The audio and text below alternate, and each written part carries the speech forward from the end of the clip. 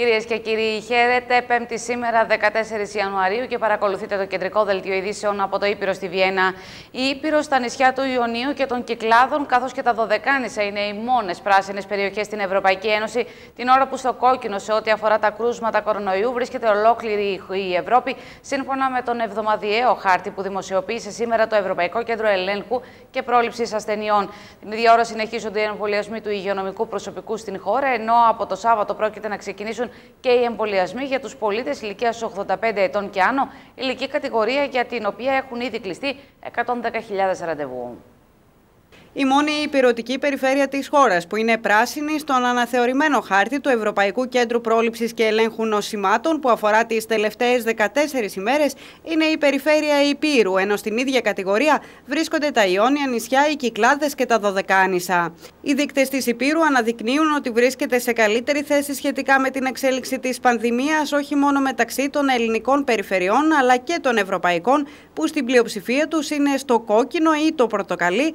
σε ό,τι αφορά τη θετικότητα, στο οποίο βρίσκεται η υπόλοιπη Ελλάδα εκτός των τεσσάρων περιφερειών, η Φιλανδία και η Ισλανδία. Βέβαια, μια άλλη ανάγνωση του χάρτη είναι ότι το σύνολο σχεδόν της Ευρώπης παραμένει κόκκινη, δηλαδή σε ένα επικίνδυνο σημείο, γεγονός που μπορεί να επηρεάσει και τη χώρα μας αλλά και την περιφέρεια το επόμενο διάστημα, να πυροδοτήσει δηλαδή ένα τρίτο κύμα της πανδημίας.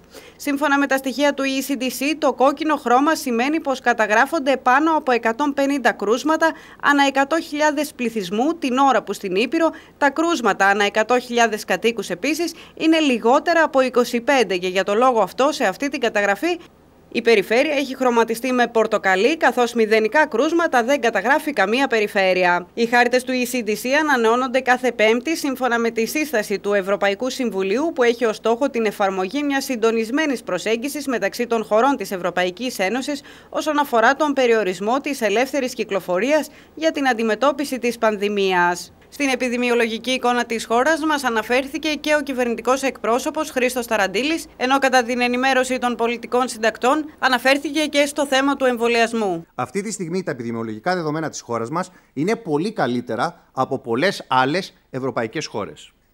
Η πανδημία, ωστόσο, είναι ένα δυναμικό φαινόμενο και οι αποφάσεις για την αντιμετώπιση της δεν μπορεί παρά να αναπροσαρμόζονται ανάλογα με τα επιδημιολογικά δεδομένα. Η κυβέρνηση παρακολουθεί στενά τα στοιχεία και προχωρά βήμα-βήμα σε αποφάσεις με βάση τις εισηγήσεις των ειδικών επιστημόνων.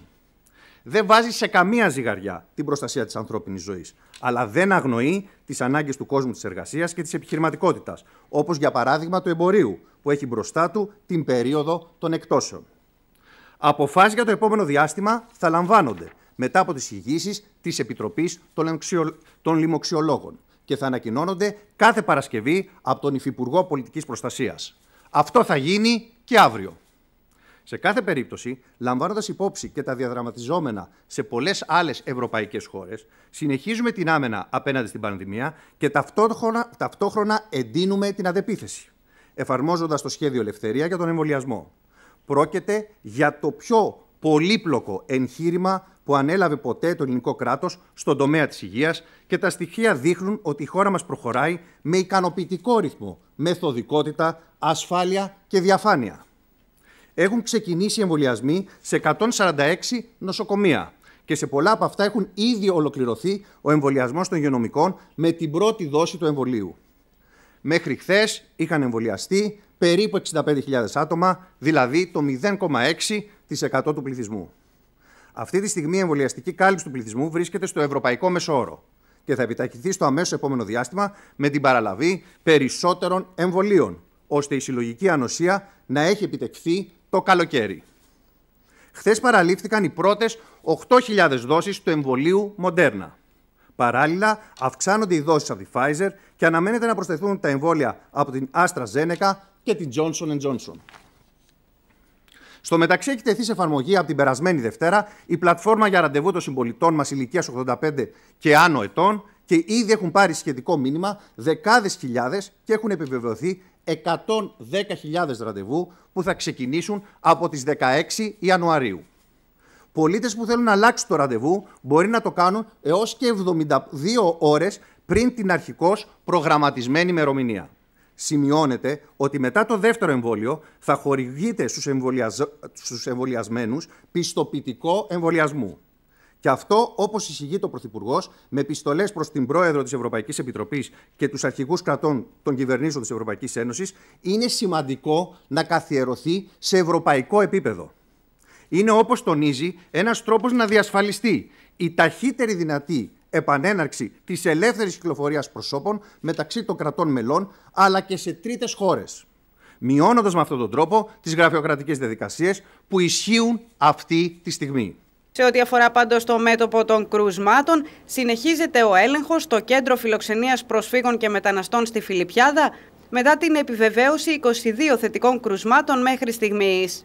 Πενθυμίζεται ότι 18 κρούσματα επιβεβαιώθηκαν την Τρίτη και 4 την Τετάρτη, ενώ δύο από τους φιλοξενούμενους που έχουν βρεθεί θετικοί νοσηλεύονται στο νοσοκομείο της Άρτας. Τα 22 πάντως κρούσματα σε πρόσφυγες και μετανάστες στη δομή της Φιλιππιάδας ούτε σήμερα φαίνεται να δηλώνονται στην έκθεση του Εθνικού Οργανισμού Δημόσιας Υγείας που καταγράφει μόλις 4 κρούσματα στην Ήπειρο και αυτά στην Περιφερειακή Ενότητα Ιωαννίνων με δεδομένο ότι στην ημερήσια έκθεση του ΕΟΔΗ συνυπολογίζονται τα θετικά αποτελέσματα τόσο από τα rapid test που διενεργούν οι κινητές ομάδες του ΕΟΔΗ, όσο και όσο και από τους μοριακούς ελέγχους που διεξάγονται σε δημόσιες και ιδιωτικές δομές υγείας. Έτσι, από τη μία μεριά είναι πολύ πιθανό να δούμε τα κρούσματα αυτά να ενσωματώνονται στις ημερήσιες εκθέσεις του ΕΟΔΗ τις επόμενες ημέρες. Η μια δεύτερη εξήγηση είναι τα κρούσματα που υπάρχουν σε κλειστές δομές, όπως στα κέντρα φιλοξενίας προσφύγων, να καταγράφονται σε διαφορετική λίστα. Μειωμένα ήταν τα κρούσματα σε σχέση με τις προηγούμενες ημέρες και σε επανελλαδικό επίπεδο, ενώ συνεχίζεται η μείωση των διασωληνωμένων. Οι θάνατοι σταθεροποιούνται ωστόσο περίπου στους 30 ημερησίως. Το τελευταίο 24ωρο επιβεβαιώθηκαν 599 νέα κρούσματα του ιού στην χώρα, με τον συνολικό αριθμό των κρούσματων από την έναρξη της πανδημίας να ανέρχεται σε 147.283.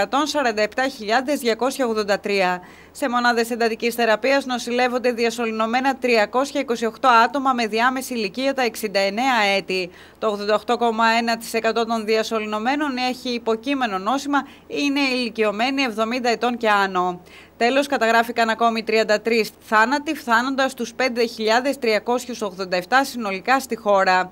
Η διάμεση ηλικία των θανόντων συμπολιτών μας ήταν τα 79 έτη και το 95,4% είχε κάποιο υποκείμενο νόσημα ή και ηλικία 70 ετών και άνω. Την δέσμευσή του για τη μεταφορά του κλειστού της ξυφασιά του ελληνικού στην πόλη των Ιωαννίνων επανέλαβε ο Υπουργός Ανάπτυξης Άδωνης Γεωργιάδης, στον Περιφερειάρχη Πύρο Αλέξαρο Καχρημάνη και στον Δήμαρχο Ιωαννίνων Μωησή Ελισάφ κατά τη διάρκεια της συνάντησης που είχαν σήμερα στο Υπουργείο. Παράλληλα, μεταφέρθηκε στον Υπουργό από πλευρά των τοπικών αρχών το αίτημα των επιμελητηρίων της Υπήρου για την επανεκκίνηση της αγοράς δεδομένης της πολύ καλής επιδημιολογικής εικόνας της περιφέρειας. Για μία ακόμη φορά, αυτή όμως ενώπιον και του Περιφερειάρχη Υπήρου Αλέξανδρου Καχρημάνη και του Δημάρχου Ιωαννίνων Μωησή Ελισάφ, δεσμεύτηκε για τη μεταφορά του κλειστού της Ξυφασκία στα Γιάννενα ο Υπουργός Ανάπτυξης και Επενδύσεων Άδωνης Γεωργιάδης, ενώ συζήτηση έγινε και αναφορικά με το ενδεχόμενο επανέναρξη της οικονομικής δραστηριότητας σε περιοχές που δεν είναι επιδημιολογικά επιβαρημένες. Τη συνάντηση στο Υπουργείο Ανάπτυξης έκανε γνωστή ο ίδιος ο κύριος Γεωργιάδης, ενώ αυτή βρισκόταν ακόμη σε εξέλιξη με τιτίβισμά του στο Twitter του Υπουργείου. Το κύριο αντικείμενο ήταν η συρρήκνωση της οικονομίας λόγω της πανδημίας και η μέθοδη αντιμετώπιση της, με το ενδεχόμενο επανακίνηση της οικονομίας στις πράσινες περιοχές, κάτι που όμως προφανώς θα πρέπει να λάβει το πράσινο φως και από την Επιτροπή Εμπειρογνωμόνων του Υπουργείου Υγείας. Έτσι, η είδηση που προέκυψε από τη συνάντηση ήταν ότι παραμένει σε ισχύ η δέσμευση για τη μεταφορά του κλειστού στα Γιάννενα και σύμφωνα με τον Περιφερειάρχη Πύρου, ο Υπουργός επικοινώνησε κατά τη διάρκεια της συζήτησης και με στελέχη της Πολυτεχνικό ΑΕ που επιβεβαίωσαν την πρόθεση να αποκτήσουν τα Γιάννενα την υποδομή αφού ολοκληρωθούν οι απαιτούμενες γραφειοκρατικές διαδικασίες. Το πότε και με ποιον τρόπο θα γίνει η μεταφορά δεν είναι ακόμη γνωστό, αλλά είναι σημαντική η επαναβεβαίωση της δέσμευσης ότι η παραχώρηση θα γίνει το αμέσως επόμενο διάστημα αφού ξεπεραστούν τα όποια γραφειοκρατικά εμπόδια. Ο Περιφερειάρχης είχε ακόμη συνάντηση με τον Υπουργό Υποδομών Κώστα Καραμαλίο, που έγινε αναφορά και για το τμήμα Ιωάννηνα Κακαβιά και υπήρξε η ενημέρωση πως κανένα ακόμη οδικό έργο δεν έχει λάβει το πράσινο φως από την Ευρωπαϊκή Επιτροπή, η οποία με πολύ φιδό θα εγκρίνει αν εγκρίνει έργα υποδομών. Τέλος, ο κύριος Καχρημάνης συμμετείχε και στην πρώτη διαδικτυακή σύσκεψη που είχε με τους περιφερειάρχες της χώρας και το Διοικητικό Συμβούλιο της Ένωσης Περιφερειών, ο νέος Υπουργός Εσωτερικών Μάκης Βορύδης. Στη διάρκεια της τηλεδιάσκεψης, παρουσία και του αναπληρωτή Υπουργού για θέματα αυτοδιοίκησης Στέλιου Πέτσα, συζητήθηκαν όλα τα θέματα της αυτοδιοίκησης που αφορούν τη θεσμική λειτουργία, τις αρμοδιότητες και τους πόρους, καθώς και ζητήματα της πολυεπίπεδης διακυβέρνησης. Την πρώτη απάντησή του στο νομοσχέδιο που φέρνει προς διαβούλευση το Υπουργείο Παιδείας για την Ανώτατη Εκπαίδευση έδωσαν και στα Γιάννα φοιτητές, εκφράζοντας την έντονη αντίθεσή τους και ζητώντας την απόσυρσή του. Το νομοσχέδιο αλλάζει τον τρόπο εισαγωγής στην τριτοβάθμια εκπαίδευση, εισάγει όριο φοιτηση στα πανεπιστήμια και δημιουργεί ομάδα πανεπιστημιακής αστυνομίας. Πρόκειται για μέτρα που αποτελούν κάζους μπέλη για το φοιτητικό και το μαθητικό κίνημα εδώ και δεκαετίες, καθώς όπως επισημαίνουν θα αλλάξουν άρτην τον χάρτη της δημόσιας εκπαίδευσης. Πριν καλά-καλά κατατεθεί προς διαβούλευση το νομοσχέδιο για την παιδεία και την πανεπιστημιακή αστυνομία, ξεκίνησαν και οι αντιδράσεις από την πλευρά των φοιτητών, με κινητοποίηση να πραγματοποιείται σήμερα και στην πόλη των Ιωαννίνων. Φοιτητές του Πανεπιστημίου βρέθηκαν έξω από την περιφέρεια Επίρου και με πανό εξέφρασαν την αντίθεσή τους στο νομοσχέδιο, ενώ προχώρησαν και σε πορεία υπό την διακριτική παρακολούθηση αλλά και τις συστάσεις από την πλευρά της αστυνομίας για την τήρηση των αποστάσεων. Η αλλαγή αυτή θα έχει σαν αποτέλεσμα τη δραστική μείωση των εισακτέων και τον ταξικό αποκλεισμό των μαθητών που προέρχονται από τα πιο φτωχά και εργατικά λαϊκά στρώματα. Αντιπανδημία! Κάτω τα χέρια απ' την παιδεία! Βρήκαν ευκαιρία μες στην πανδημία! Κάτω τα χέρια απ' την παιδεία! Οι φοιτητικοί σύλλογοι ζητούν να μην κατατεθεί το νομοσχέδιο που περιλαμβάνει μέτρα όπως η θέσπιση της ελάχιστης βάσης εισαγωγής, που εκτιμάται ότι θα αφήσει εκτός τριτοβάθμιας εκπαίδευσης χιλιάδες μαθητές και περιορισμούς στο όριο φίτησης στα πανεπιστήμια. Στην αιχμή, ωστόσο, των ετοιμάτων είναι να μην ιδρυθεί η πανεπιστημιακή αστυνομία, η οποία Όπως σημειώνουν, θα καταργήσει αγώνες δεκαετιών και θα ισοπεδώσει το πανεπιστημιακό άσυλο. Σύμφωνα πάντως με όσα έχουν γίνει γνωστά μέχρι σήμερα, πανεπιστημιακή αστυνομία δεν θα εγκατασταθεί στο Πανεπιστήμιο Ιωαννίνων, τουλάχιστον σε αυτή τη φάση, αλλά σε εκείνα που αντιμετωπίζουν μεγαλύτερα προβλήματα. Μάλιστα, ο Υφυπουργός Παιδείας, αρμόδιος για θέματα ανώτατης εκπαίδευσης, Άγγελος Συρίγος, ανέφερε ότι αυτά είναι η Πανεπιστημιούπολη και Πολυτεχνιούπολη Ζωγράφου, το Αριστοτέλειο Πανεπιστήμιο Θεσσαλονίκης, το Πανεπιστήμιο Πάτρας και το Οικονομικό Πανεπιστήμιο Αθηνών. Σύμφωνα με τον κύριο Συρίγο, στα άλλα πανεπιστήμια δεν θα υπάρχει αστυνόμευση, ενώ πρόσθεσε ότι η αστυνομική αρχή έχει στόχο να προλαμβάνει και να καταστέλει τα ποινικά αδικήματα και η φύλαξη θα γίνεται για να μην μπαίνουν μέσα στα ιδρύματα παραβατικά στοιχεία. Από την πλευρά τους, ωστόσο, οι φοιτητές τονίζουν πως η ίδρυση της Πανεπιστημιακής Αστυνομίας, παρά τα όσα ευαγγελίζεται η κυβέρνηση, στόχο έχει να επιβάλλει την πολιτική της που οδηγούν στην διάλυση της δημόσιας εκπαίδευσης. Προφανώς έτσι είναι ένα μέτρο που χτυπάει κάθε είδους ε, δημοκρατικού δικαιώματος που κατακτήθηκε με αγώνες που έδωσαν οι φοιτητές μετά το Πολυτεχνείο. Πρόκειται για μια επιστροφή αυτού που λέγαμε του, ε, αυτού του, του χουντικού καθεστώτος που υπήρχε στα πανεπιστήμια και στο Πολυτεχνείο αντίστοιχα έτσι το 1973. Ε, αυτό έχει σαν σκοπό η πανεπιστημιακή αστυνομία ε, να επιβάλλει τους νόμους της αγοράς μέσα στα πανεπιστήμια, να μετατρέψει το πανεπιστήμιο σε μια αγορά που θα μπορούν να σπουδάζουν μόνο όσοι έχουν χρήματα ε, να πληρώσουν τα δυσβάχτητα δίδακτρα ή τα αντίστοιχα προγράμματα σπουδών. Ε, αυτό είναι που προσπαθεί η κυβέρνηση με όλες τις αλλαγές που φέρνει το τελευταίο διάστημα είτε με τους προηγούμενους νόμους Κεραμέως, είτε με την εξίσωση των κολεγίων με τα πανεπιστήμια έτσι να καταφέρει. Ε, είναι μια πάγια στόχευση όλων των νεοφιλελεύθερων και μνημονιακών όλα αυτά τα χρόνια να διαλύσουν το δημόσιο χαρακτήρα του Πανεπιστημίου και η αστυνομία έρχεται ακριβώς για να επιβάλλει έτσι όλα αυτά τα μέτρα. Έρχεται για να χτυπήσει το μαχητικό συνδικαλισμό, έρχεται για να χτυπήσει τις συνελεύσεις, δεν έρχεται για να προστατέψει τα πανεπιστήμια από την εγκληματικότητα όπως ευαγγελίζονται ε, και στόχος τους είναι να μην επιτρέψουν κανέναν να αντιδράσει απέναντι σε όλη αυτή την επίθεση που βιώνουμε. Το είδαμε κιόλας στο προηγούμενο διάστημα και με τις επιθέσεις μέσα στην αιστεία του ΕΜΟΠΟΥ, στο ΕΚΠΑ ή όπως και είδαμε και στα γεγονότα 16 17 ε, Νοέμβρη και 6 Δεκέμβρη, έτσι που χτύπησαν φοιτητές μόνο και μόνο επειδή ζήτησαν καλύτερες ηθίκες διαβίωσης, ε, μέτρα προστασίας απέναντι στην υγεία και στον κορονοϊό, περισσότερες μεθ. Δεν είναι αυτό το ζήτημα, δηλαδή αυτό υποπροβάλλεται από την κυβέρνηση, ε, όλη αυτή όλη αυτή η κατάσταση ότι, της εγκληματικότητας των ε, υποτιθέμενων ε, μπαχαλάκιδων όπως ονομάζει. Στην πραγματικότητα μόνοι μπαχαλάκιδες είναι τα μάτια του Χρυσοχοίδη. Είναι η αστυνομία η οποία ε, στην ουσία χτυπάει όποιον αντιδράει και όποιον ε, αντιστέκεται.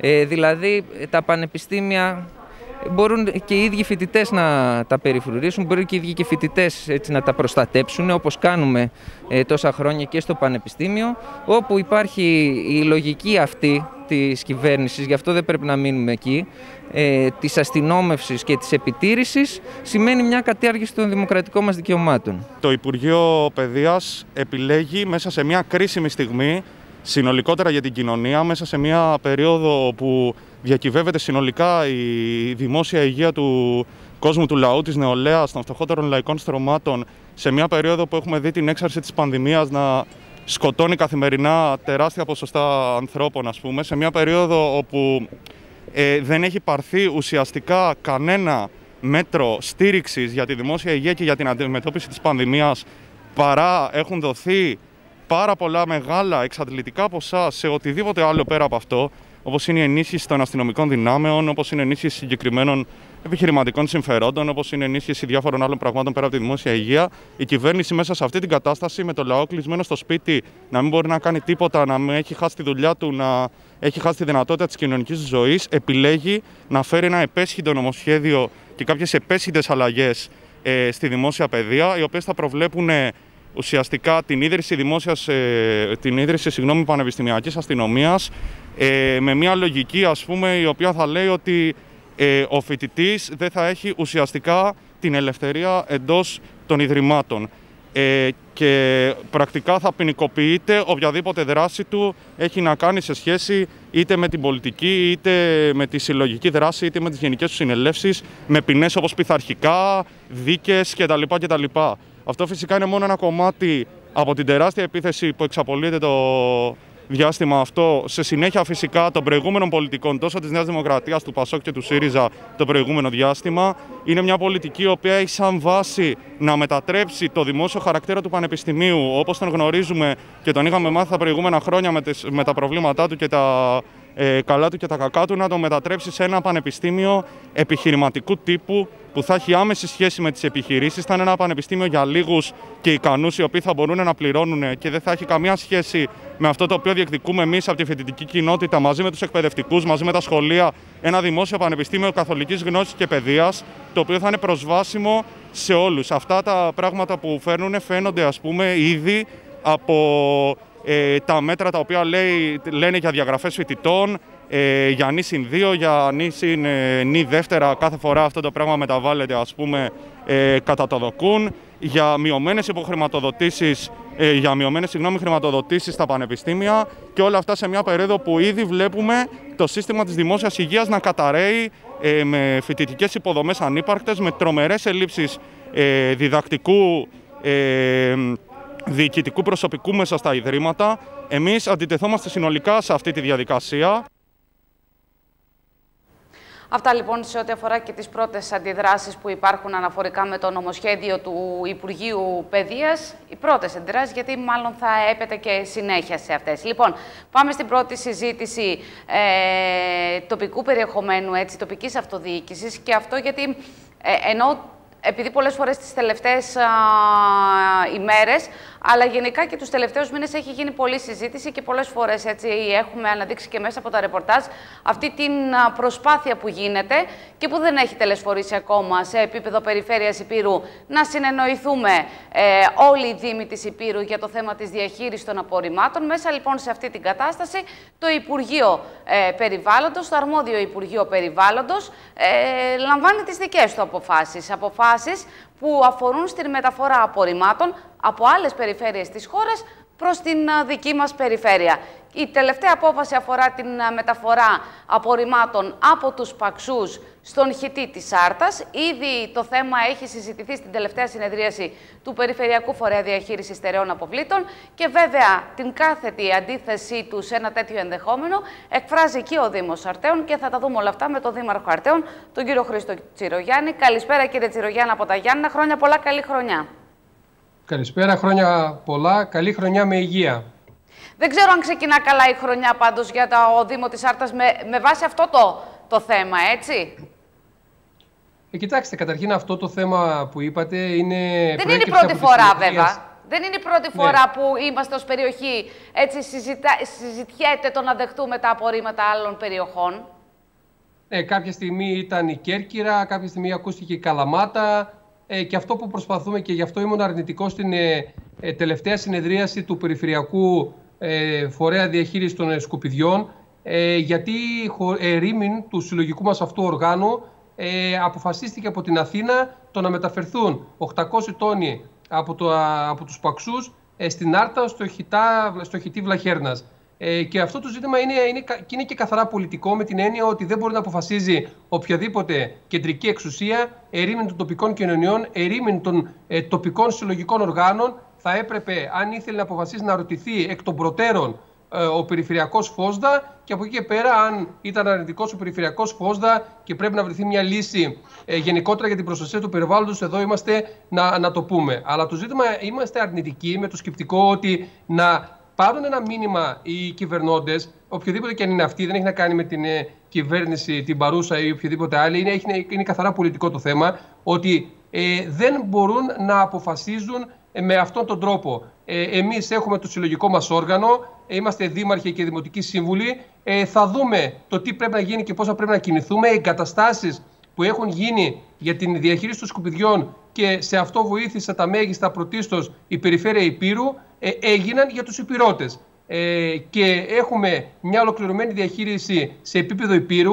ε, μεριμνήσαμε εγκαίρως να κάνουμε αυτές τις υποδομές για τους δήμους μας, για τους δημότες μας. Από εκεί και πέρα εγώ θα δεχόμουν να έρθουν κάποια σκουπίδια ε, στον χιτά Βλαχέρνας για ένα χρονικό διάστημα όταν θέλουμε στην Ήπειρο να κάνουμε έργα επέκτασης στο Καρβουνάρι, στο Ελληνικό, δηλαδή να εξυπηρετήσουμε τους Υπηρώτες ε, δημότες μας. Ε, και γι' αυτό το λόγο ε, ήμουν αρνητικός έτσι ώστε να δώσουμε ένα μήνυμα. Νομίζω το καταλάβανε όλοι οι αυτοδιοικητικοί που είμαστε εκεί, στο συλλογικό όργανο, γι' αυτό και στην απόφαση που τελικά πάρθηκε κατά πλειοψηφία θετική να μεταφερθούν α, αυτοί οι τόνοι των σκουπιδιών, είπαμε να βάλουμε και αυτό το σκεπτικό έτσι ώστε ε, να πάει προς τα πάνω. Εμείς δεν θέλουμε σε καμία περίπτωση στην περιοχή μας να τη δούμε σκουπιδότοπο, ε, την Άρτα, να δούμε την Ήπειρο ως σκουπιδότοπο και ενδεχομένως αυτό αν θέλετε να είναι η τιμωρία μας ως υπηρώτες επειδή εγκαίρως κάναμε ε, τη σωστή δουλειά που οι άλλες τοπικές κοινωνίες για τους δικούς τους λόγους δεν τις έκαναν και αυτή τη στιγμή έρχεται ε, η πολιτεία να επιβραβεύσει όχι τους συνεπείς αλλά εκείνους. Δηλαδή εδώ χωράει μεγάλη κουβέντα ότι κάποια στιγμή θα πρέπει οι πυρώτες να επιβραβευθούν και να έχουν και χαμηλά δημοτικά τέλη, να είναι το καλό παράδειγμα ε, γιατί ε, έχουμε κάνει ολοκληρωμένη διαχείριση εγκαίρως και όχι να φέρνουν σκουπίδια από άλλες περιοχές ή να έχουν αυξημένα δημοτικά τέλη. Κύριε Τσιρογιάννη, η απόφαση συγκεκριμένη του Υπουργείου Περιβάλλοντος έχουμε μια εικόνα για τι χρονικό διάστημα μιλάει η μεταφοράς αυτών, το, αυτό του όγκου απορριμμάτων. Μιλάει για 800 τόνους ε, νομίζω είναι μέχρι το Μάρτιο. Αλλά από εκεί και πέρα δεν σου λέει κανείς ότι σήμερα είναι 800 τόνοι, αύριο μπορεί να είναι κάτι παραπάνω. Δηλαδή, καλό θα ήταν να μας πούνε είναι 800 τόνοι, που μπορεί να είναι μια μικρή ποσότητα στην παρούσα φάση. Ε, και όμως δεν θα ξαναυπάρξει άλλη μεταφορά σκουπιδιών. Γιατί, Γιατί γίνονται τα έργα αυτή τη στιγμή στους Παξούς, στην Κέρκυρα, προχωράνε οι διαδικασίες, άρα μην ε, κάνετε έτσι. Είναι πρόσκαιρο αυτό το θέμα να μας έλεγαν, να υπήρχε ένα τηλέφωνο ε, να μας ενημερώνανε πριν πάρουν αυτή την απόφαση. Εγώ ήμουν αντίθετος και με τον κύριο Γραφάκο όταν είχε έρθει στα Γιάννενα και είχαμε μαζευτεί οι Δήμοι τότε των Ιωνίων Νήσων και της Υπήρου, που είπε ότι θα αποφασίσει ο Υπουργός ε, για να αν υπάρξει κάποιο πρόβλημα για την Κέρκυρα ή οτιδήποτε άλλο. Και ήμουν, και ήμουν αντίθετος και έτσι λίγο είπαμε και δύο κουβέντες παραπάνω, γιατί δεν δέχομαι σε καμία περίπτωση οποιοδήποτε υπουργός να αποφασίζει το, για τις εγκαταστάσεις που έχει Ήπειρος ε, το πώς θα διαχειριστούμε τα σκουπίδια. Έχουμε ένα συλλογικό όργανο, τον Περιφερειακό Φόσδα, ε, μπορούμε να έρθει το θέμα εκεί, να δούμε τι θα γίνει και μετά αν υπάρξει κάποιο διέξοδο ή οτιδήποτε άλλο, νομίζω καταλαβαίνουμε και υπάρχει μεταξύ των συναδέλφων δημάρχων ε, κατανόηση, γιατί αντιμετωπίζουμε καθημερινά αντίστοιχα προβλήματα, για να δώσουμε λύσεις, αλλά όμως αυτές οι λύσεις να είναι πρόσκαιρες και να μην γίνει ε, σύστημα αυτό το ζήτημα. Και όπως υπόθηκε σε αυτή την αίθουσα εκείνη τότε στο ξενοδοχείο στα Γιάννενα, ότι ακούστηκε η Κέρκυρα, σήμερα λέμε είναι υπαξί, δεν αντιδράει κανένας. Ωραία, αύριο θα φέρουμε την Κέρκυρα, αύριο θα φέρουμε την Καλαμάτα για άλλους λόγους που ακούστηκε και από, από την πλευρά του εργοστασίου παλιότερα και το έχετε αναδείξει με ρεπορτάζ εκεί στη, στα Γιάννενα. Έτσι, κάποια στιγμή πρέπει να σταματήσει αυτό το πράγμα. Κύριε Τσιρογιάννη, να κάνω λίγο το συνήγορο του διαβόλου. Μήπως δίνουμε πάτημα και εμείς ως υπηρώτες και εσείς ως αυτοδιοικητικοί, όταν δεν έχουμε καταφέρει μέχρι σήμερα να συνεννοηθούμε και να έρχονται τα απορρίμματα από όλους τους Δήμους της Υπήρου στο, στο εργοστάσιο, στο ελευθεροχώρι, δίνουμε ένα πάτημα στο Υπουργείο να λέει Αυτοί δεν τα βρίσκουν, δεν πάνε όλα τους τα απορρίμματα στο εργοστάσιο. Υπάρχει περιθώριο στο εργοστάσιο. Πάμε λοιπόν να στείλουμε και άλλα. Ε, κοιτάξτε, νομίζω Θα μου πείτε τώρα εδώ δεν στέλνονται στο εργοστάσιο, στέλνονται στο χιτά της Άρτας. Είναι μια άλλη κουβέντα. Αυτή προφανώς θα έπρεπε με τη λειτουργία του εργοστασίου να πηγαίνουν όλοι οι Δήμοι τα σκουπίδια στο εργοστάσιο, όμως εκεί ε, ε, προϋποθέτει για να γίνει αυτό ότι θα λειτουργούσαν εγκαίρως οι ΣΜΑ, τη σταθμή μεταφόρηση απορριμμάτων. Αυτό ήταν. Όταν όμως αυτή τη στιγμή δεν λειτουργούν οι σταθμοί μεταφόρηση απορριμμάτων ε, και θα πρέπει να πηγαίνουμε τα σκουπίδια στα Γιάννενα, θα πρέπει να τα πηγαίνουμε με τα απορριμματοφόρα τα δικά μας, που και λόγω παλαιότητας αλλά και λόγω του ότι δεν έχουμε ε, πολλά ε, και με τα ωράρια που έχουν οι υπάλληλοι μας, δεν προλαβαίνουν να πηγαίνουν να διάζουν στα Γιάννα, να ξαναγυρίζουν και να πηγαίνουν να μαζεύουν τα σκουπίδια ε, στην, ε, στο Δήμο Αρτέων. Άρα καταλαβαίνετε ότι ε, ναι, μεν έτσι έπρεπε να γίνει, αλλά όμως δεν είναι ευθύνη των Δήμων ότι δεν παραδόθηκαν εγκαίρως οι σταθμοί μεταφόρου απορριμμάτων. Από εκεί και πέρα όμως, και επειδή καλό είναι να κάνουμε και ένα σχόλιο, γιατί ε, ακούω κι εγώ συναδέλφους δημάρχους που και τοποθετούνται εκεί στα Γιάννενα για αυτό που γίνεται με τον λεγόμενο διαγωνισμό ε, των σκουπιδιών, ε, δεν νομίζω ότι είναι το θέμα ο, η διακήρυξη του διαγωνισμού, αν είναι α, έτσι ή αν λείπει αυτή η λέξη ή αν πρέπει να βάλουμε το άλλο. Κάνουμε κάθε μέρα διαγωνισμούς στους Δήμους μας, μεγάλους διαγωνισμούς, μικρούς διαγωνισμούς, είναι η καθημερινότητά μας. Ε, αλλάζουμε διακηρύξεις αν κάτι δεν είναι σωστό και όταν ε, το βγάζουμε στον αέρα τότε στο στάδιο του διαγωνισμού μπορεί ε, κάτι να πει ένας ε, ε, διαγωνιζόμενος ότι να ζητήσει εξηγήσεις, να ζητήσει και να πει ότι αυτή η διάταξη είναι φωτογραφική, δεν είναι προς το συμφέρον ε, του διαγωνισμού και εκεί να τροποποιηθεί ή να κατέβει ο διαγωνισμός από εκεί. Εμείς δεχτήκαμε και ήμουν από αυτούς που είπα στην πρώτη συνεδρία του ΦΟΣΔΑ ότι, τη, μάλλον τη δεύτερη, ότι καλό είναι να δώσουμε και μια εβδομάδα παράτηση. Δεν χάθηκε ο κόσμος για να ακούσουμε τους συναδέλφους δημάρχους των, των Δήμου Ιωαννητών αλλά και γενικότερα της Υπήρου. Αλλά ε, νομίζω ότι έπρεπε να έρθουν να καθίσουν ε, στην τηλεδιάσκεψη αυτή να ανταλλάξουμε προτάσεις. Και όχι να απέχουν, εννοείται. Όχι, να έχουμε υπομνήματα και να στέλνουν ε, φεύγολαν, ε, να πούν τα επιχειρήματά τους, να δούμε το πώς μπορούμε να αλλάξουμε και νομίζω ότι δείξαμε στην τελευταία συνεδρίαση ότι αλλάξαμε πολλά. Αλλάξαμε και όρους διακήρυξης, αλλάξαμε και ποσοστά τεχνικής και οικονομικής προσφοράς που από 70-30 το κάναμε 50-50 ε, και τώρα προχωράμε εκεί. Εγώ νομίζω, ε, κυρία Σταύρο, ότι ε, δεν είναι η ουσία της διακήρυξης και γίνεται αυτή η μεγάλη κουβέντα. Άλλοι είναι οι λόγοι που θέλουμε να κολλήσουμε αυτή τη διαδικασία. Νομίζω το είναι γνωστό και το ξέρετε όλοι, είστε μια έμπειρη και εσύ δημοσιογράφος και ξέρετε για ποιους λόγους γίνεται αυτή η κολυσιεργία για να έρθουν κάποιοι από μηχανής θεός ή μετά και να πούνε ελάτε εδώ, εσείς δεν μπορείτε να λύσετε το θέμα των σκουπιδιών. θα σας το λύσουμε εμείς. Και θυμίζω δύο πράγματα. Γιατί Αναφέρεστε στην περιφέρεια, κύριε Τσιρογιάννη; Ε, δεν θα πω εγώ πια αναφέρω, νομίζω το ξέρουμε όλοι το τι γίνεται και νομίζω ότι έχει, είναι, είναι πασιφανές. Ε, εμείς μπορούμε τα σκουπίδια τα δικά μας να τα διαχειριστούμε. Είμαστε ικανοί ως ε, δήμαρχοι, ως συλλογικό όργανο που λέγεται Περιφερειακός Φόσδα. Ε, συγχαίρουμε και την Περιφέρεια Επίρου για την μέχρι τώρα βοήθειά της, γιατί χωρίς την Περιφέρεια Επίρου η αλήθεια είναι ότι δεν θα γινόταν αυτές οι εγκαταστάσεις που έγιναν, οι αποκαταστάσεις στον Χαδά, το εργοστάσιο. Ε, άργησαν λίγο οι σταθμοί μεταφόρηση απορριμμάτων, θα έπρεπε να είναι έτοιμοι πιο νωρίς. Αλλά από εκεί και πέρα μπορούμε, έχουμε τεχνικές υπηρεσίες, τις διαθέτουμε για να σταθούμε όρθιοι. Όμως θέλω να κάνω. να το δείξετε στην πράξη, κύριε Τσιρογιάννη, όλοι. Ένα σχόλιο. Γιατί έγινε μεγάλη κουβέντα για τα 10 χρόνια, για τα 12, για τα 7. Είναι μεγάλο το διάστημα. Και λέω δύο νούμερα. Ότι το εργοστάσιο σκουπιδιών αυτή τη στιγμή το έχει ιδιότητα για 25 χρόνια. Αυτή ήταν η σύμβαση που έγινε και από την περιφέρεια Επίρου. Και πρόσφατα, εκεί στα Γιάννενα, στην Πρέβεζα, οι Δήμοι, οι οποίοι και η περιφέρεια μπήκαν στο πρόγραμμα Ελένα, ε, το οποίο ο Δήμος Αρτέων ήταν και εκείνος, αλλά αποχώρησε ε, στην συνέχεια. Ε, με δική μας ευθύνη. Εμείς βάλαμε τα πράγματα κάτω και, νομίζω, και θεωρήσαμε σκόπιμο να αποχωρήσουμε.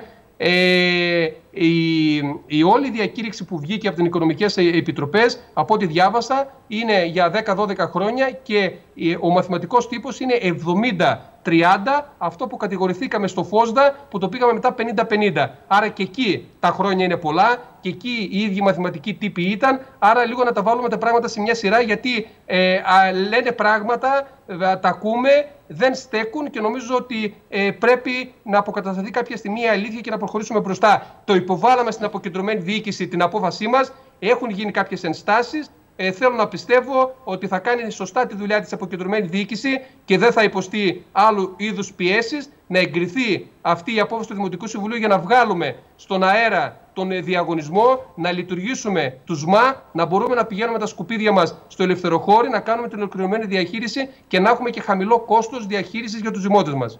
Πάντως, μία από τις ενστάσεις που αφορά αυτό που αναφέρετε, κύριε Τσιρογιάννη, τον χρόνο διάρκειας αυτής της σύμβασης, είναι γιατί δεν πάμε να κάνουμε τη δοκιμαστική λειτουργία έξι μήνες, ένα χρόνο, να ξέρουμε τα κόστη και μετά πάμε να κάνουμε μία πιο μακροχρόνια σύμβαση.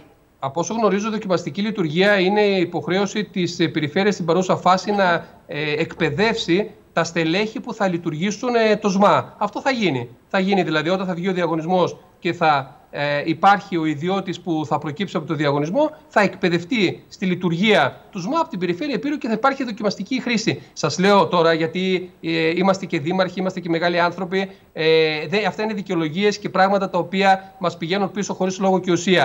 Α αφήσουν κάποιοι να πάμε μπροστά, ε, μπορούμε να τα καταφέρουμε, ε, κάνουμε σωστές διαδικασίες ε, και να λειτουργήσουμε συλλογικά σε επίπεδο επίρου όπως ε, πρέπει να λειτουργήσουμε και να είμαστε το καλό παράδειγμα και ισόφελος των δημοτών.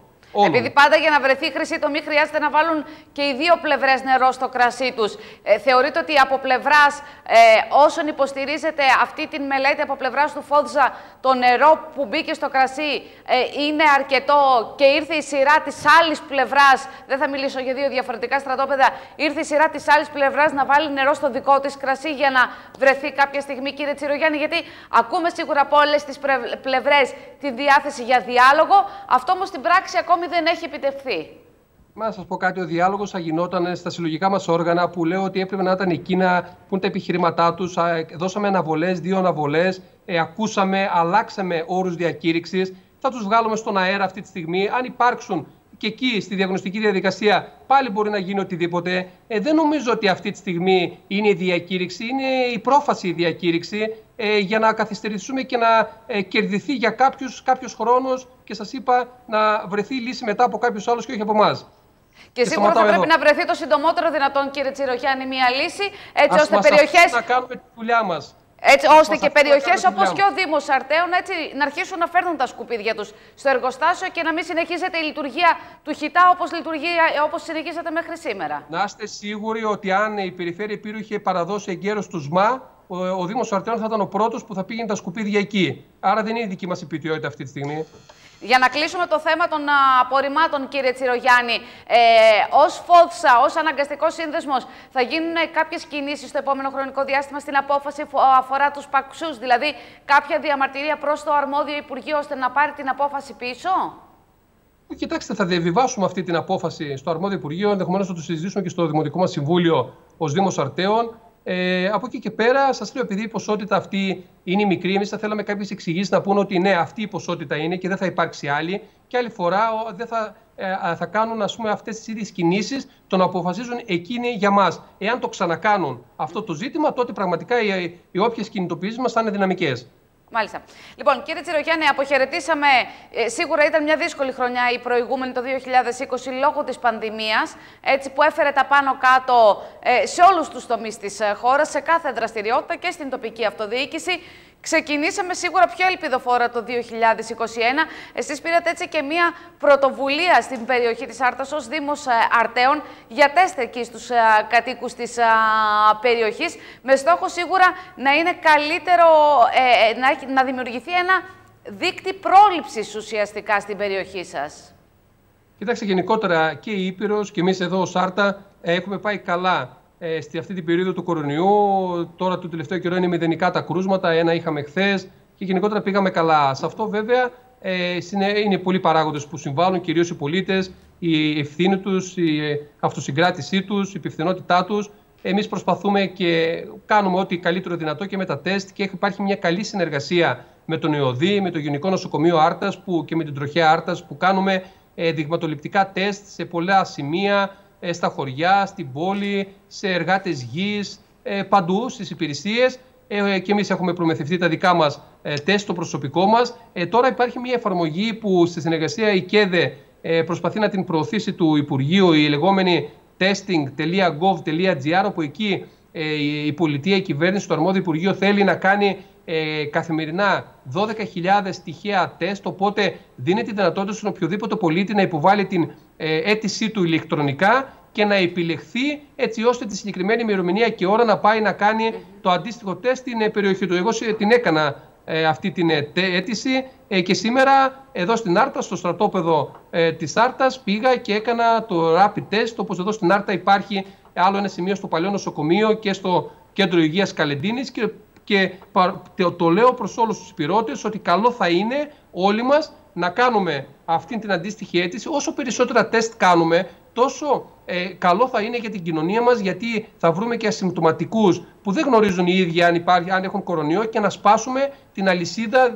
διάδοσης ε, του κορονοϊού. Μόνο έτσι θα τα καταφέρουμε. Μέχρι να εμβολιαστούμε. Κύριε Τσιρογιάννη, όλοι μας, μέχρι να έρθει η ώρα να εμβολιαστούμε. Ε, ουσιαστικά και σε αυτό το κομμάτι που αφορά τον εμβολιασμό, επειδή και στην περιοχή της Άρτας υπάρχουν πολλές ορεινές απομακρυσμένες περιοχές, υπάρχουν άνθρωποι σε αυτές τις περιοχές που ίσως ανήκουν και στην ηλικιακή μονά, ε, ομάδα που ξεκινά το ερχόμενο Σάββατο, ε, ο εμβολιασμός τους. Ε, υπάρχει έτσι, σας έχουν γίνει αιτήματα για την, να βοηθήσετε ως Δήμος για τη μεταφορά ενδεχομένως κάποιων ανθρώπων τέτοιας ηλικίας που δεν έχουν τη δυνατότητα άλλων τρόπο μετακίνησης προς το εμβολιαστικό κέντρο της α, δικής σας περιοχής; Κοιτάξτε, το Δήμος Αρτέων ήταν σε όλα μπροστά, σε ό,τι χρειάστηκε σε, σε αυτή την πανδημία και στο πρώτο κύμα και στο δεύτερο που λέμε. Ε, οπότε εννοείται ότι θα χρειαστεί θα είμαστε δίπλα τους. Εμείς αυτή τη στιγμή ε, και στις επόμενες μέρες θα ανακοινώσουμε την ίδρυση στη, στο Δήμο Αρτιών του ΚΕΠ Υγείας, που θα, ένα από τις, μία από τις δραστηριότητές τους θα είναι στο να βοηθήσει τα μέγιστα και στη διαδικασία του εμβολιασμού, έτσι ώστε τους συμπολίτες μας εκείνους να τους υποβάλουμε και τις φόρμες ε, που χρειάζεται αιτήσεις για να κάνουν το, το εμβόλιο και ό,τι άλλο χρειαστεί σε συνεργασία και με τα ΚΕΠ τα οποία λειτουργούν ε, στην περιοχή μας. Μάλιστα. Λοιπόν, έχουμε αλλαγή ηγεσία στο Υπουργείο Εσωτερικών. Πώς είδατε την αλλαγή, κύριε Τσιρογιάννη; Ο κύριος Βορύδης έφυγε από το Υπουργείο Αγροτικής Ανάπτυξης, ανέλαβε το Υπουργείο Εσωτερικών. Ο κύριος Θεοδωρικάκος ε, που θεωρείται από τους επιτυχημένους υπουργούς ε, του προηγούμενου του ουσιαστικά κυβερνητικού σχήματος και που ήρθε, αν θέλετε, να λύσει και αρκετά ζητήματα που είχε προκαλέσει ο τελευταίος νόμος για την αυτοδιοίκηση με διάφορα νομοθετήματα. Ε, αποτελεί πλέον παρελθόν για το Υπουργείο Εσωτερικών. Πώς βλέπετε τα πράγματα από εδώ και πέρα; Και ο κύριος Πέτσας βέβαια, έτσι, στην, στο νέο σχήμα. Κάνει τις αλλαγές ε, στην προκειμένη περίπτωση ο Πρωθυπουργός. Εκείνος γνωρίζει καλύτερα το πώς θα, ε, τι αλλαγές πρέπει να κάνει για να αποδώσει καλύτερα ε, η κυβέρνησή του. Εγώ επειδή και εγώ είμαι αυτής της άποψης του λεγόμενου rotation, δηλαδή θέλω να αλλάζουν οι αντιδήμαρχοι και να πηγαίνουν σε πολλά πόστα, για διάφορα πόστα για να αποκτούν και μια ευρύτερη γνώση του αντικειμένου και αυτό νομίζω ότι βοηθάει περισσότερο ε, και στην διοίκηση αλλά και στην παραγωγή του έργου και πρόσφατα άλλαξα τους αντιδήμαρχους σε όλα τα πόστα. Άρα δεν έχει να κάνει καμία φορά με το αν ε, είσαι ευχαριστημένος ή όχι, αλλά με τη γενικότερη λειτουργία ενός ε, φορέα. Και όλοι κρινόμαστε από το αποτέλεσμα. Άρα από εκεί και πέρα ε, θα κριθεί ε, και ο κύριος Βορύδης ε, όχι και από τους πολίτες και από τους δημάρχους αλλά κυρίως από τον Πρωθυπουργό ε, και εμείς αυτό που θέλουμε ως αυτοδιοίκηση και σήμερα υπήρχε η πρώτη συνάντηση ε, της Εκτελεστικής Επιτροπής της ΚΕΔΕ με τον κύριο Βορύδη. Μπήκαν κάποια θέματα στο τραπέζι όπως είναι ο Τρίτσης, η διοικητική μεταρρύθμιση, οι αρμοδιότητες, οι πόροι, η κινητικότητα και διάφορα άλλα θέματα θα τα άκουσε και δεν είναι μόνο να τα ακούσει. Εμείς αυτό που ζητούμε είναι, να δώσει λύσει και να προχωρήσουμε μπροστά. Θέλω να πιστεύω, γιατί και με τον κύριο Θεοδωρικάκο και με τον κύριο Λιβάνιο έγιναν πράγματα, αυτά να συνεχιστούν και γιατί αυτά είναι εις όφελος της αυτοδιοίκησης και εις όφελος των πολιτών. Μάλιστα. Ε, στοχοθεσία για το 2021, κύριε Τσιρογιάννη, στο Δήμο Αρτέων. Εμείς ε, το 2021 το χαρακτηρίσαμε και στο, κατά τη διάρκεια του προπολογισμού είχα πει την πρόταση ότι είναι η χρονιά των μεγάλων έργων με, την έννοια ότι ε, έχουν μπει σε τροχιά υλοποίηση μεγάλα έργα για την περιοχή μας όπως είναι ε, το Ξενία ε, στην Άρτα, όπως είναι το Ιστορικό Δημαρχείο, ε, όπως είναι η αναπλάση στο κέντρο, το Open Mall, η ασφαλτοστρόη στα 70 χιλιόμετρα αγροτικού δικτύου, αλλά και οι γεφυρώσεις, οι οριοθέτηση είναι έργα τα οποία έχουν μπει σε σειρά άλλα έχουμε υπογράψει σύμβαση, άλλα είναι δημοπρατημένα και άρα την έχουμε χαρακτηρίσει ως χρονιά των μεγάλων έργων, χωρίς αυτό να σημαίνει ότι δεν δίνουμε το βάρος στην καθημερινότητα, στις κοινωνικές μας δομές, στο, στο πρωτογενή τομέα και στην ε, τουριστική και πολιτιστική αξιοποίηση. Και βέβαια ο πρώτος, ε, η πρώτη μέρημνά μα στην περίοδο αυτή είναι η επιχείρηση Ελευθερία, δηλαδή να επιτέλους να ελευθερωθούμε από τον κορονοϊό, να μπορέσουμε να ε, μπούμε στην κανονικότητα, να επιστρέψουμε στην κανονικότητα ε, και καταλαβαίνετε ότι όλο αυτό το διάστημα οι Δήμοι λειτουργήσαν και ε, λειτουργήσαν καλά με το 1 τρίτο του προσωπικού, γιατί έλειπαν σε άδειες ειδικού σκοπού, σε άδειες ευπαθών ομάδων και όλες οι διαδικασίες έτρεχαν, οι προσκλήσεις ήταν ανοιχτές, ο προπολογισμός έπρεπε να γίνει στην ώρα του, το τεχνικό πρόγραμμα στην ώρα του, ε, τα σκουπίδια να τα μαζεύουμε κάθε μέρα ε, και ήταν πάρα πολύ δύσκολο για μας, γιατί και εμείς ως ε, ε φορείς αυτοδιοίκησης δεν έχουμε έσοδα, η κοινωνία δεν έχει έσοδα, οι επιχειρήσεις είναι κλειστές. Άρα θέλω να πιστεύω ότι η πολιτεία όλα αυτά θα τα δει και θα στηρίξει και την τοπική επιχειρηματικότητα, γιατί και σήμερα εδώ στην Άρτα υπήρχε μια ε, έτσι, ε, διαδήλωση, μια που, διαδήλωση που έβαλαν τα μαύρα πανιά στις πόρτες των ε, καταστημάτων των εμπορικών. Οι έμποροι που δικαιολογημένοι, ε, δικαιολογημένως αντιδρούν με την έννοια ότι έχουν τόσο καιρό κλειστό και μία κλείνουν, μία ανοίγουν, άρα θα πρέπει και εκείνοι που ε, ζουν από αυτό το επάγγελμα να μπορούν να σταθούν. Πάλι όρθιοι, τρέχουν τα δάνεια, τρέχουν οι υποχρεώσεις τους ε, άρα εκεί πρέπει όλοι και η πολιτεία και η αυτοδιοίκηση να στηρίξουμε τις τοπικές επιχειρήσεις, τους ανθρώπους μας, για να μπορούμε να αποκτήσουμε πάλι να μπούμε σε μια ε, καθημερινότητα. Με αυτές τις σκέψεις θέλω να κλείσω και να ευχηθώ να έχουμε υγεία και εφόσον έχουμε υγεία και είμαστε ενωμένοι όλοι μαζί, θα καταφέρουμε να ξεπεράσουμε τα δύσκολα. Είστε έτοιμοι γιατί περιμένουμε νέα καιρικά φαινόμενα έκτακτα, κύριε Τσιρογιάννη. Έτοιμοι στην περιοχή της Άρτας. Είμαστε σε επιφυλακή ήδη. Ήρθε το σήμα από την ε, πολιτική προστασία της Περιφέρειας Υπήρου και είμαστε σε επιφυλακή. Κάναμε και πρόσφατα ένα τοπικό συντονιστικό. Έχουμε ε, κάνει ε, έργα, μάλλον είμαστε σε άποψη ότι πρέπει να προλαμβάνουμε παρά να θεραπεύουμε και όλο το διάστημα δουλεύουμε προς αυτή την κατεύθυνση και σε αγαστή συνεργασία με την Περιφέρεια Υπήρου και όλους τους φορείς. Μάλιστα. Θέλω να σας ευχαριστήσω πάρα πολύ, κύριε Τσιρογιάννη, για τη δυνατότητα να συνομιλήσουμε. Ο, καλό βράδυ. Να είστε καλά, καλό σας βράδυ. Και εμείς να συνεχίσουμε, κυρίες και κύριοι, τις καταγγελίες για παρατυπίες στη διαδικασία του εμβολιασμού για την προστασία από τον κορονοϊό σε τοπικό επίπεδο, που εκφράστηκαν και με ανακοίνωση του ΣΥΡΙΖΑ Προοδευτική Συμμαχία Ιωαννίνων, επανέλαβε ο πρώην βουλευτής του κόμματος και μέλος της Κεντρικής Επιτροπής Γιάννης Στέφος. Στόχος της ανακοίνωσης, όπως είπε, είναι να μην επαναληφθούν ζητήματα που παρατηρήθηκαν και να τηρηθούν οι προτεραιότητες που θέτουν οι ειδικοί, ενώ αναφορά έκανε και στις συνθήκες επαναλειτουργίας των σχολείων της πρωτοβάθμιας εκπαίδευσης.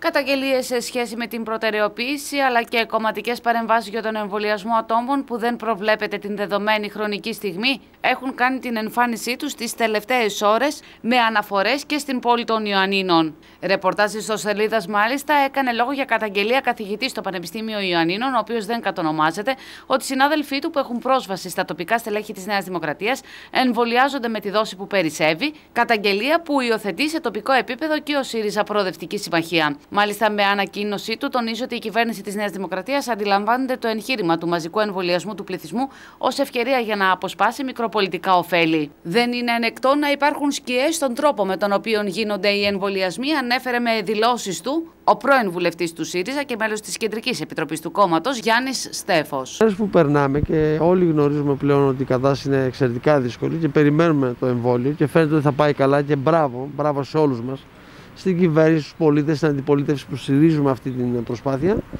δεν πρέπει και δεν ε, ε, είναι ανεκτό να υπάρχουν σκιές το πώς γίνονται οι εμβολιασμοί. Αυτό ακριβώς καταγγέλει η ανακοίνωση του ΣΥΡΙΖΑ χθες, γιατί γι' αυτό προφανώς με ρωτάτε, ε, στο πρώτο μέρος της, ότι θα πρέπει να δοθούν εξηγήσεις με ποιο τρόπο κάποιοι ιδιώτες γιατροί που πρέπει να εμβολιαστούν οι άνθρωποι αυτοί έτσι κι αλλιώς εμβολιάστηκαν και κάποιοι άλλοι αποκλείστηκαν ή δεν ενημερώθηκαν. Αυτή είναι η όλη η ιστορία και αυτό γίνεται γιατί ξέρετε ότι έχουμε πολύ μεγάλο δρόμο ε, να διανύσουμε μέχρι να ολοκληρωθεί ο, εμβολια, ο εμβολιασμός στο επιθυμητό ποσοστό του πληθυσμού και δεν θα πρέπει να υπάρχει η παραμικρή σκιά και υπόνοια ότι γίνονται ε, χαριστικές ε, θα έλεγα ε, επιλογές ε, ανθρώπων που θα εμβολιαστούν. Αυτό συνέβη κατά πάσα πιθανότητα σε ένα μικρό αριθμό ιατρών ιδιωτών. Δεν ενημερώθηκαν όλοι, δεν κρατήθηκε πρωτόκολλο, δεν κρατήθηκε κάποια σειρά αλφαβητική για παράδειγμα θα έλεγα εγώ. Ε, γιατί προφανώς τα εμβόλια που περίσσεψαν τα 100 δεν φτάνουν για όλο τον πληθυσμό των ιατρών στα Ιωάννα και βεβαίως θα πρέπει να μην επαναληφθεί. Ε, στην ανακοίνωση όμως δεν γράφει μόνο αυτό, γράφει ότι τα χίλια τόσα εμβολιαστικά κέντρα δεν υπάρχουν. Η Νέα Δημοκρατία και η κυβέρνηση βασικά, η κυβέρνηση που έχει την ευθύνη, φαίνεται ότι και σε αυτό έπεσε έξω. Είναι πολύ λιγότερα. Θα εμβολιαστούν τελικά οι πολίτες στα νοσοκομεία με ό,τι αυτό ε, συνεπάγεται. Δεν είναι εύκολη η μετακίνηση πολιτών από απομακρυσμένες περιοχές και να μιλήσουμε για τον νομό Ιωαννίνων. Υπάρχει κέντρο στο Δελβινάκι, υπάρχει κέντρο υγείας ε, στα Δερβίζανα, υπάρχει κέντρο υγείας στο Βουζαρά. Όλοι αυτοί οι άνθρωποι που μένουν σε αυτές τις περιοχές είναι πολύ δύσκολο, πάρα πολύ δύσκολο να μετακινηθούν και να έρθουν στα Ιωάννα. Εδώ πέρα υπήρξε μια ολιγορία. Οφείλεται βεβαίως στις υποδομές και στη βαθιά κατάψυξη που θα πρέπει τα εμβόλια αυτά να υπάρξουν και δεν υπάρχουν αυτές οι υποδομές. Οφείλεται και στην έλλειψη προσωπικού. Και βεβαίως πώς να μην υπάρχει έλλειψη προσωπικού όταν η κυβέρνηση επιλέγει να διορίσει χίλιους φύλακε πανεπιστημίων και να μην διορίζει γιατρούς και νοσηλευτές. Υπάρχουν ζητήματα σοβαρά τα οποία δεν είναι δυνατόν να μην καταγγέλλονται και πολύ περισσότερο δεν είναι δυνατόν οι πολίτες να μην ενημερώνονται για το πώς λειτουργεί η κυβέρνηση αυτού του κράτους. Υπάρχει μια τέτοια καταγγελία ότι κάποιοι οι οποίοι διατηρούν την ιδιότητα ενώ έχουν αφιπηρετήσει ε, σε ό,τι αφορά την έρευνα κλπ. Και εκεί υπήρξαν κάποιες παρατυπίες. Ακούστε, είναι ζητήματα που η ανακοίνωση περισσότερο θέλει να προλάβει άλλα περισσότερα και μεγαλύτερα στο μέλλον και καλώς γίνεται. Δεν γίνεται με κακή ε, πρόθεση και απόλυτα καταγγελτικό λόγο. Αυτό το οποίο θέλουμε είναι να τηρηθεί η διαδικασία για όλους τους πολίτες του νομού Ιωαννίνων. Αυτή η διαδικασία που το πρωτόκολλο προβλέπει και υπάρχουν άνθρωποι και ευπαθείς ομάδες που δεν έχουν εμβολιαστεί ακόμη. Ο κύριος Στέφος και με την ιδιότητα του εκπαιδευτικού αναφέρθηκε και στην επανεκκίνηση της πρωτοβάθμιας εκπαίδευσης, λέγοντας πως καλώς επέστρεψαν οι μαθητές στα σχολεία. Θα έπρεπε ωστόσο να είχαν ληφθεί επιπλέον μέτρα, τα οποία όπως ανέφερε δεν έχουν ληφθεί. Τα σχολεία θα έπρεπε να έχουν μια διαφορετική διαχείριση από την αρχή της επιδημίας. Είχαμε χρόνο να προετοιμαστούμε από πέρυσι το Μάρτιο που ξέραμε. Θα έπρεπε να είναι λιγότεροι μαθητές ένα τμήμα. Θα έπρεπε να εξοικονομηθούν κάποιες αίθουσες τουλάχιστον στα μεγάλα σχολικά κέντρα. Υπάρχουν σχολικά κέντρα στα Ιωάννα σήμερα, σχολικές μονάδες που έχουν 350 παιδιά σε αίθουσες οι οποίες είναι πολύ λίγο τετραγωνικών. Αν δεν μπορούσε αυτό να γίνει καθολικά σε όλες τις σχολικές μονάδες θα έπρεπε να γίνει μια επιλογή. Δεν έγινε τίποτα ούτε από την κυβέρνηση ούτε από την αυτοδιοίκηση. Διότι να σας πω κάτι, σε τέτοιες περιπτώσεις σοβαρές όπως αυτής της πανδημίας που μετράμε 5.500 νεκρούς και δυστυχώς το απέφχομαι αλλά θα συμβεί, θα μετρήσουμε και άλλες πολλές ακόμη μέχρι να τελειώσουμε θα έπρεπε να υπάρχει μια μεγαλύτερη πρόνοια για τις σχολικές μονάδες. Άλλωστε βλέπετε ότι τα σχολεία της δευτεροβάθμιας παραμένουν κλειστά με ευθύνη της Υπουργού, με απόφαση Υπουργού και νομίζω ότι καλώς εκεί πέρα, διότι μιλάμε για μεγαλύτερους ε, μαθητές σε ηλικία και πολυπληθέστερες ομάδες εκπαιδευτικών.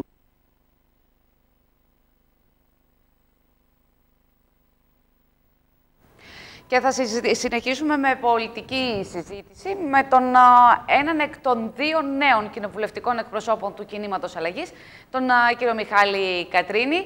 Κύριε Κατρίνη, καλησπέρα σας. Ευχαριστώ πάρα πολύ για την ανταπόκριση και συγχαρητήρια ε, και στον τηλεοπτικό αέρα για τα νέα σας καθήκοντα. Καλησπέρα κυρία Σταύρου, ευχαριστώ πάλι για τη φιλοξενία και για τις ευχές σας και καλή χρονιά βεβαίως σε εσάς τους τηλεθεατές σας. Τι σημαίνει για εσάς η ανάληψη αυτής της θέσης με απόφαση της κυρίας Γεννηματά μαζί με τον κύριο Σκανδαλίδη; Κοιτάξτε κυρία Σταύρου, είναι πολύ μεγάλη τιμή και ευθύνη να εκπροσωπώ το Πασόκ στη Βουλή και έχω συνέστηση του βάρους αυτής της ευθύνης. Ε, για μένα προσωπικά δεν αλλάζει κάτι, όπως ε, δούλευα πριν στη Βουλή για την παράταξή μου, θα συνεχίσω να δουλεύω και τώρα, όπως κάνουμε και όλοι οι βουλευτές του κινήματος αλλαγής, γιατί δεν είμαστε και πάρα πολλοί, είμαστε 22, έχουμε πάρα πολλές υποχρεώσεις, πολλά νομοσχέδια, πολλές διαδικασίες. Ε, όλοι ε, παλεύουμε, δουλεύουμε ε, και στηρίζουμε τον κοινό σκοπό. Και ο κοινός σκοπός είναι πρώτον να μπορούμε κάποιες από τις θέσεις μας να τις περνάμε στην κυβέρνηση ώστε να δίνουμε λύσεις στα καυτά προβλήματα που αντιμετωπίζουν πολλοί συμπολίτες μας. Αυτό νομίζω είναι και μια τεκμηριωμένη και ρεαλιστική αντιπολίτευση και παράλληλα προσπαθούμε βεβαίως όλη αυτή η προσπάθεια να κεφαλαιοποιηθεί και πολιτικά, έτσι στο κίνημα αλλαγής και να ανέβει δημοσκοπικά και σιγά σιγά να φτάσει εκεί που το αξίζει και δεν το αξίζει τίποτα άλλο πέρα από έναν πρωταγωνιστικό ρόλο στο πολιτικό σύστημα της χώρας. Η ισχύ είναι εν τη ενώση μέσα στο κίνημα αλλαγής, κύριε Κατρίνη. Στη σφαίρα της φαντασίας, τα όσα ακούστηκαν τις τελευταίες ημέρες μετά την αλλαγή αυτή στη θέση του κοινοβουλευτικού εκπροσώπου; Είναι μονόδρομος η ισχύ εν τη ενώση. Πολλά ακούγονται, πολλά γράφονται. Ε, πολύ λιγότερα από αυτά που γράφονται και ακούγονται ισχύουν. Ε, όλοι ξέρουμε ότι αυτή τη στιγμή έχουμε μπει σε μια χρονιά που πιθανόν θα είναι και εκλογική χρονιά. Άρα πρέπει να επικεντρώσουμε το σύνολο των δυνάμεών μας ε, στην προσπάθεια που κάνουμε και στην ενίσχυση της παράταξής μας. Βεβαίως ε, είναι και μια χρονιά που έχουμε διαδικασίες ε, εσωτερικές βάσεις καταστατικού. Το ΠΑΣΟΚ, το κίνημα αλλαγής πάντα τηρεί αυτές τις διαδικασίες. Ως εκ τούτου τώρα είμαστε προσανατολισμένοι στην αντιμετώπιση της πανδημίας και των οικονομικών συνεπειών της πανδημίας που κυρία Σταύρου βλέπω να μην γίνεται συζήτηση χωρίς να υποτιμώ το θέμα της αργής ροής των εμβολιασμών και όλων των ζητημάτων που έχουν σχέση με τη διασφάλιση δημόσιας υγείας, βλέπουμε ταυτόχρονα μια αγορά, μια οικονομία πραγματικά να καταστρέφεται και την ίδια στιγμή η κυβέρνηση να λέει τα ίδια πράγματα ξανά και ξανά, ελάχιστες ε, αποφάσεις ουσιαστικής στήριξης πλην της επιστρεπτές καταβολή και κανένα σχεδόν μέτρο ανακούφισης. Γιατί και στην περιοχή σας, τα έχουμε πει πάρα πολλές φορές, οι πιο πολλοί επαγγελματίες το αυτό που θα δουν την 1η Μαου είναι τις αναστολές των υποχρεώσεων που όμως θα είναι μαζεμένες, θα αφορούν τις δύο ε, περιόδους της καραντίνας, θα αφορούν τις υποχρεώσεις από τη δεκαετή κρίση, θα αφορούν τα τραπεζικά δάνεια που θα ξεπαγώσουν και απορώ με την αγορά κλειστή τόσους μήνες μπορεί κάποιος από τους επαγγελματίες που πιθανόν τώρα μας βλέπουν να ανταποκριθεί στις 12 ή 24 δόσεις που έχει αυτή τη στιγμή ως βασική ρύθμιση κυβέρνηση; Είναι ρητορικό το ερώτημα. Η απάντηση είναι όχι. Εδώ λοιπόν έρχεται η πρόταση του κινήματος αλλαγής, η οποία τι λέει; Λέει για όλες τις οφειλές στο δημόσιο και στα ταμεία 120 δόσεις 30% κούρεμα οφειλής στους επαγγελματίες και τους οφειλέτες που θα ικανοποιούν εμπρόθεσμα τη ρύθμιση. Το κράτος εισπράττει, ενισχύει τα έσοδά του, οι οφειλέτες έχουν το κίνητο της απαλλαγής 30% και απλώνουν το σύνολο της οφειλής σε πολλές και μικρές δόσεις. Δεν κατανοούμε τον λόγο για τον οποίο αυτό δεν έχει εφαρμοστεί ε, και το συζητάμε αυτό, κυρία Σταύρου, και το έχουμε πει πάλι μαζί την ίδια στιγμή που επίκειται πτωχευτικός νόμος παρά την ολιγόμενη παράταση. Είναι ένας νόμος ο οποίος δεν θα έλεγα ότι είναι καθόλου ευνοϊκός και ευχάριστος για επαγγελματίες και φυσικά πρόσωπα και όσον αφορά τις κύριες κατοικίες και όσον αφορά βεβαίως και την επαγγελματική δραστηριότητα. Η κυβέρνηση ε, περπατάει στα τυφλά και οι επιχειρηματίες, οι επαγγελματίες σε τεντωμένο σκηνή, κύριε Κατρίνη, τη δεδομένη χρονική στιγμή; Η κυβέρνηση, κύριε Σταύρο, να μην πριν ακριβώς στη συζήτηση του προπολογισμού έλεγε ότι έχει αρκετά πυρομαχικά για να στηρίξει την οικονομία, εάν και εφόσον χρειαστεί να έχουμε καραντίνα και μετά την ε, νέα χρονιά. 15 ε, μέρες μόνο στο 2021 και προχτές το Υπουργείο Ανάπτυξης ε, ανακοίνωσε ότι έκανε εισήγηση στους λοιμοξιολόγους να ανοίξουν την αγορά. Λέτε και είναι θέμα ε, το άνοιγμα της αγοράς ή των σχολείων του Υπουργείου Ανάπτυξης, του Υπουργείου Παιδείας. Προφανώς η απόφαση αφορά την κυβέρνηση του Υπουργείου Ανάπτυξης και του Υπουργείου Παιδείας για την αγορά για τα σχολεία, αλλά θα πρέπει να υπάρχει πρώτα απ' όλα η εκτίμηση της υγειονομικής κατάστασης και η εισήγηση των ειδικών. Εμείς ως κίνημα αλλαγής ήδη από το Δεκέμβριο είχαμε πει ότι οι περιοχές της χώρας μας έχουν διαφορετικό προφίλ υγειονομικό επιδημιολογικό και διαφορετική βαρύτητα υγικού φορτίου. Ε, άλλη είναι η κατάσταση στα Γιάννενα, άλλη είναι στην Ηλία, άλλη είναι στο Ηράκλειο, άλλη είναι πιθανώς στο νησί του Αιγαίου. Εμείς είμαστε πράσινοι πάντως, κύριε Κατρίνη, στον Ευρωπαϊκό Χάρτη. Ε, και υπάρχει και έτοιμα, αν θέλετε, από τα επιμελητήρια της Υπήρου και τα τέσσερα, ότι θα μπορούσαμε ως περιφέρεια να λειτουργήσουμε την επιχειρηματικότητα και ως πιλότος, αν θέλετε, για τη χώρα. Εύχομαι να είστε πράσινοι και σε επόμενες εκλογές. Να θυμηθούμε παλιές καλές εποχές, για να, έτσι, να αστιευτώ και λίγο. Αλλά έχω μιλήσει ήδη ε, και με τον πρόεδρο του Μιλτερίου Ιωαννίνων και με τον πρόεδρο του Μιλτερίου Πρέβεζας, με τους οποίους είμαι σε στενή συνεργασία. Ξέρω τις θέσεις και τις απόψεις τους, ξέρω την αγωνία που έχουν ε, για αυτή την ε, αγορά που είναι κλειστή και τι συνεπάγεται για την επόμενη μέρα για το λιανεμπόριο και τους επιχειρηματίες και βεβαίως θα πρέπει, ε, αφού δούμε τα υγειονομικά δεδομένα, τα πραγματικά στα Γιάννενα Φερρυπίν, να ληφθεί μια απόφαση που θα αφορά τα Γιάννενα. Επαναλαμβάνω, διαφορετικές καταστάσεις, διαφορετικές περιοχές απαιτούν προφανώς διαφορετικές αποφάσεις. Εξάλλου, δεν λέμε κάτι πρωτότυπο. Η ίδια η κυβέρνηση είναι που εμφανίζει σε κάποιες περιπτώσεις και εφαρμόζει ολικό lockdown, όπου υπάρχει επιβαρημένο ειδικό φορτίο. Αυτό λοιπόν θα πρέπει να έχει γίνει ήδη θεωρώ ότι πρέπει να εφαρμοστεί, πρέπει να δοθεί στο λιανεμπόριο, ειδικά τώρα που έχουν ξεκινήσει εκπτώσεις, η ευκαιρία να μπορέσει ένα κομμάτι του χαμένου τζίρου να τα αναπληρώσει, έτσι ώστε όταν ανοίξει με το καλό η αγορά και εξομαλυνθεί σχετικά η κατάσταση, να μπορέσουν αυτοί οι άνθρωποι να σταθούν όρθιοι. Αλλά δεν αρκεί μόνο τα χρήματα της αγοράς, κύριε Σταύρου. Προφανώς χρειάζεται και ρευστότητα μέσω επιστρεπτέ καταβολής και επιτέλους από τις τράπεζες, οι οποίες ε, δεν καταλαβαίνω το λόγο για τον οποίο τα χρήματα που έχουν τα παρκάρουν σε ομόλογα και διαθέσιμα στην Τράπεζα της Ελλάδος αντί να τα δίνουν στις επιχειρήσεις και την ίδια στιγμή, το παραλαμβάνω, ρυθμίσεις και μέτρα ελάφρυνσης για τα βάρη και τις οφειλές του παρελθόντος. Χωρίς αυτά, το ιδιωτικό χρέος που σήμερα που μιλάμε ξεπερνάει τα 240 δισεκατομμύρια ευρώ. Αυτές είναι οι οφειλές των Ελλήνων πολιτών σε δημόσιο, ασφαλιστικά ταμεία και τράπεζες. Αν πιστεύει κάποιος ότι στι σημερινές συνθήκες, με αυτή την κατάσταση της οικονομίας, αυτό το χρέος μπορεί να αποπληρωθεί στο σύνολό του, νομίζω ότι προφανώς βρίσκεται σε άλλη χώρα και δεν έχει καμία σχέση με την κοινωνική και οικονομική πραγματικότητα. Γι' αυτό πρέπει να πάμε σε μακροχρόνιες ρυθμίσεις, γι' αυτό πρέπει να πάμε τουλάχιστον για το δημόσιο και τα ταμεία σε κούρεμα των συνεπών οφειλετών με τις μακροχρόνιες ρυθμίσεις. Από εκεί πέρα και οι τράπεζες κάποια στιγμή, το έχουμε συζητήσει πάρα πολλές φορές μαζί, κάποια στιγμή και οι τράπεζες, οι οποίες έχουν στηριχθεί από το δημόσιο, έχουν στηριχθεί από του Έλληνες πολίτες και με την απόσχεση τώρα και με τον αναβαλώμενο φόρο και με τις ανακεφαλοποιήσει. Ε, κάποια στιγμή και οι τράπεζες να αναλάβουν, κύριε Σταύρο, ένα ρίσκο, να δώσουν δάνεια σε επιχειρήσεις, να δώσουν ρευστότητα στην αγορά, να στηρίξουν μια προσπάθεια που πλέον έχει εθνικά χαρακτηριστικά. Ε, κύριε Κατρίνα, επειδή τις τελευταίες ώρες και εν ώψη των οριστικών αποφάσεων, οι οποίες αναμένεται να ανακοινωθούν αύριο για το αν θα πάμε τελικά σε μια επανεκκίνηση της αγοράς από την ερχόμενη Δευτέρα, μπήκαν στη ζυγαριά από τη μία ε, η εκπαίδευση, η δευτεροβάθμια εκπαίδευση και από την άλλη η αγορά.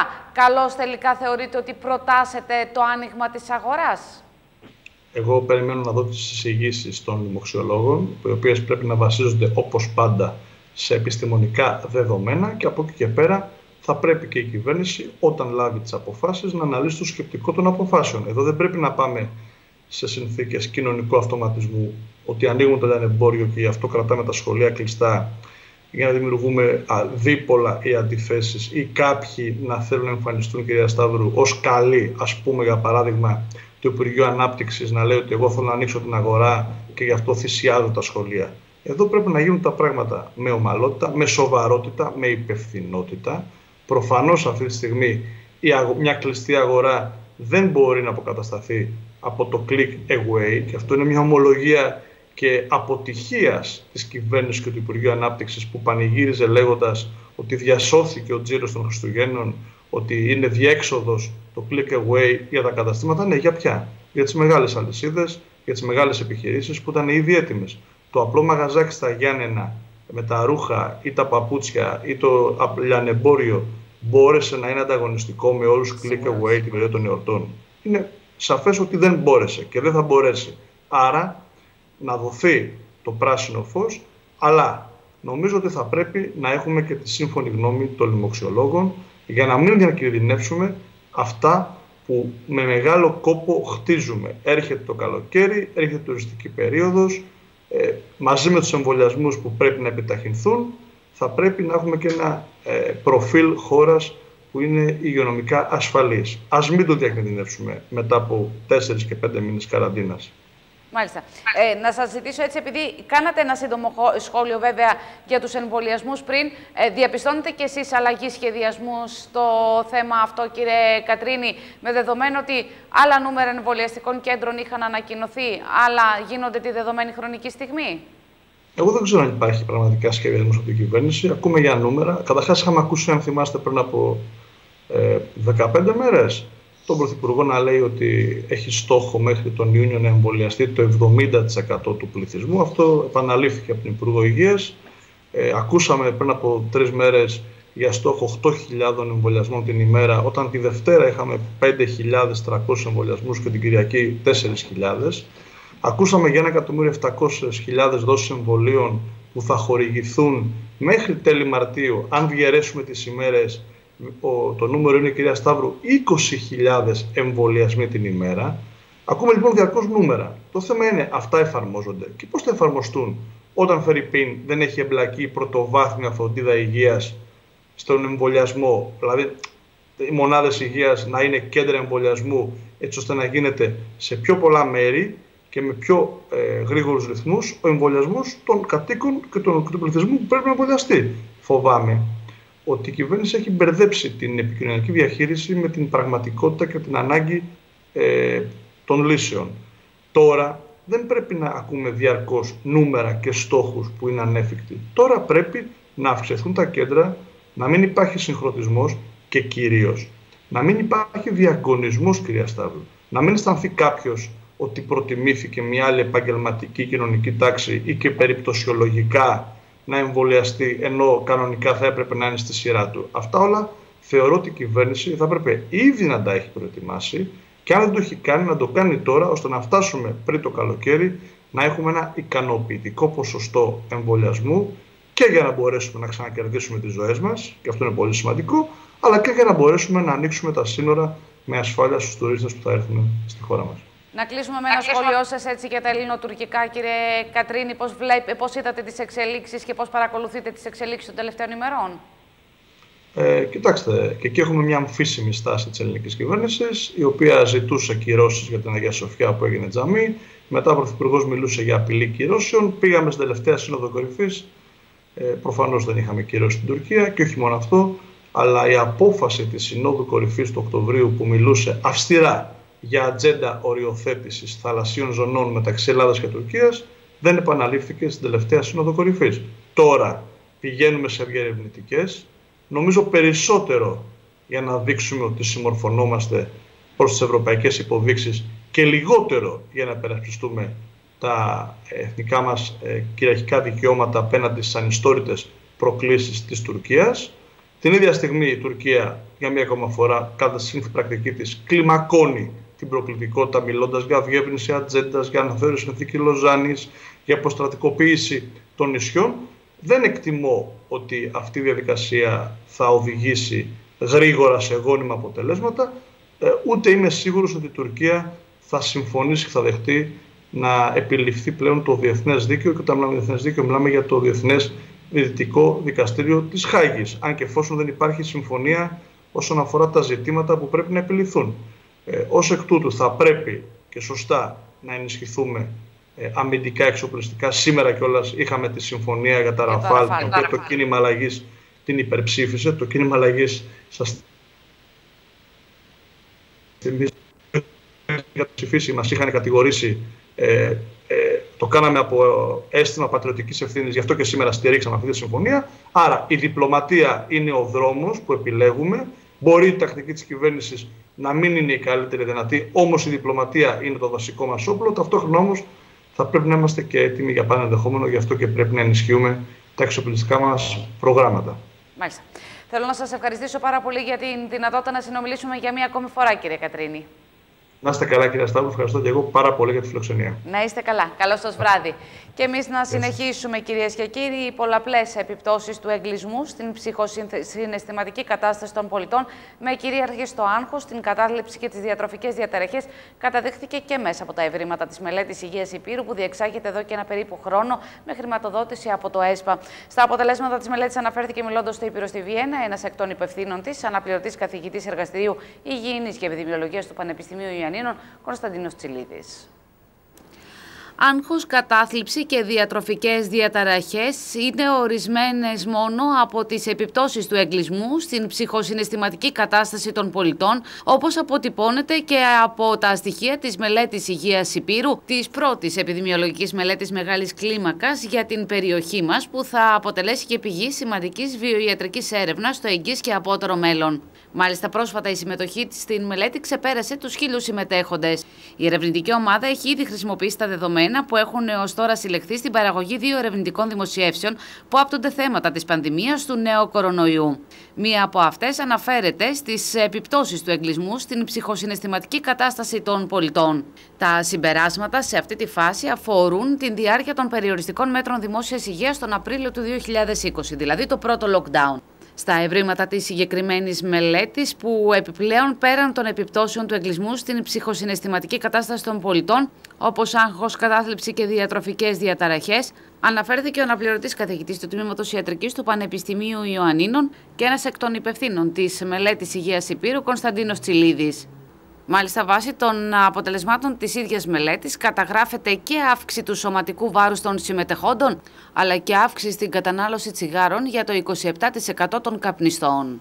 Ουσιαστικά ε, μας έδειξε ότι τα συμπτώματα άγχους, κατάθλιψης και διατροφικών διαταραχών ε, κατά τη διάρκεια και μετά τον εγκλισμό του Μαρτίου-Απριλίου του 2020 ε, αυξήθηκαν σε σχέση με, ε, σε σχέση με νωρίτερα ε, και στον ίδιο πληθυσμό, αλλά και σε συγκινόμενος με ε, άλλο πληθυσμό, απλώς εκτιμόμενο νωρίτερα στην Ελλάδα, ενώ πριν τον Μάρτιο του 2020. οπότε φάνηκε ότι έχουμε μια αύξηση της... Συγγνώμη, είχαμε περίπου σε 18% των συμμετεχόντων στη μελέτη είχαμε συμπτώματα ε, κατάθλιψης και σε 13% περίπου των συμμετεχόντων είχαμε συμπτώματα άγχους.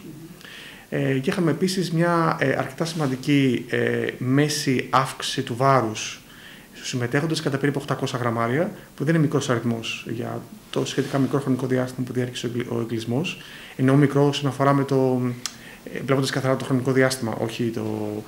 Ε, και είναι ο μέσος όρος αύξησης, δηλαδή κάποιοι είχαν παραπάνω, κάποιοι είχαν λιγότερο.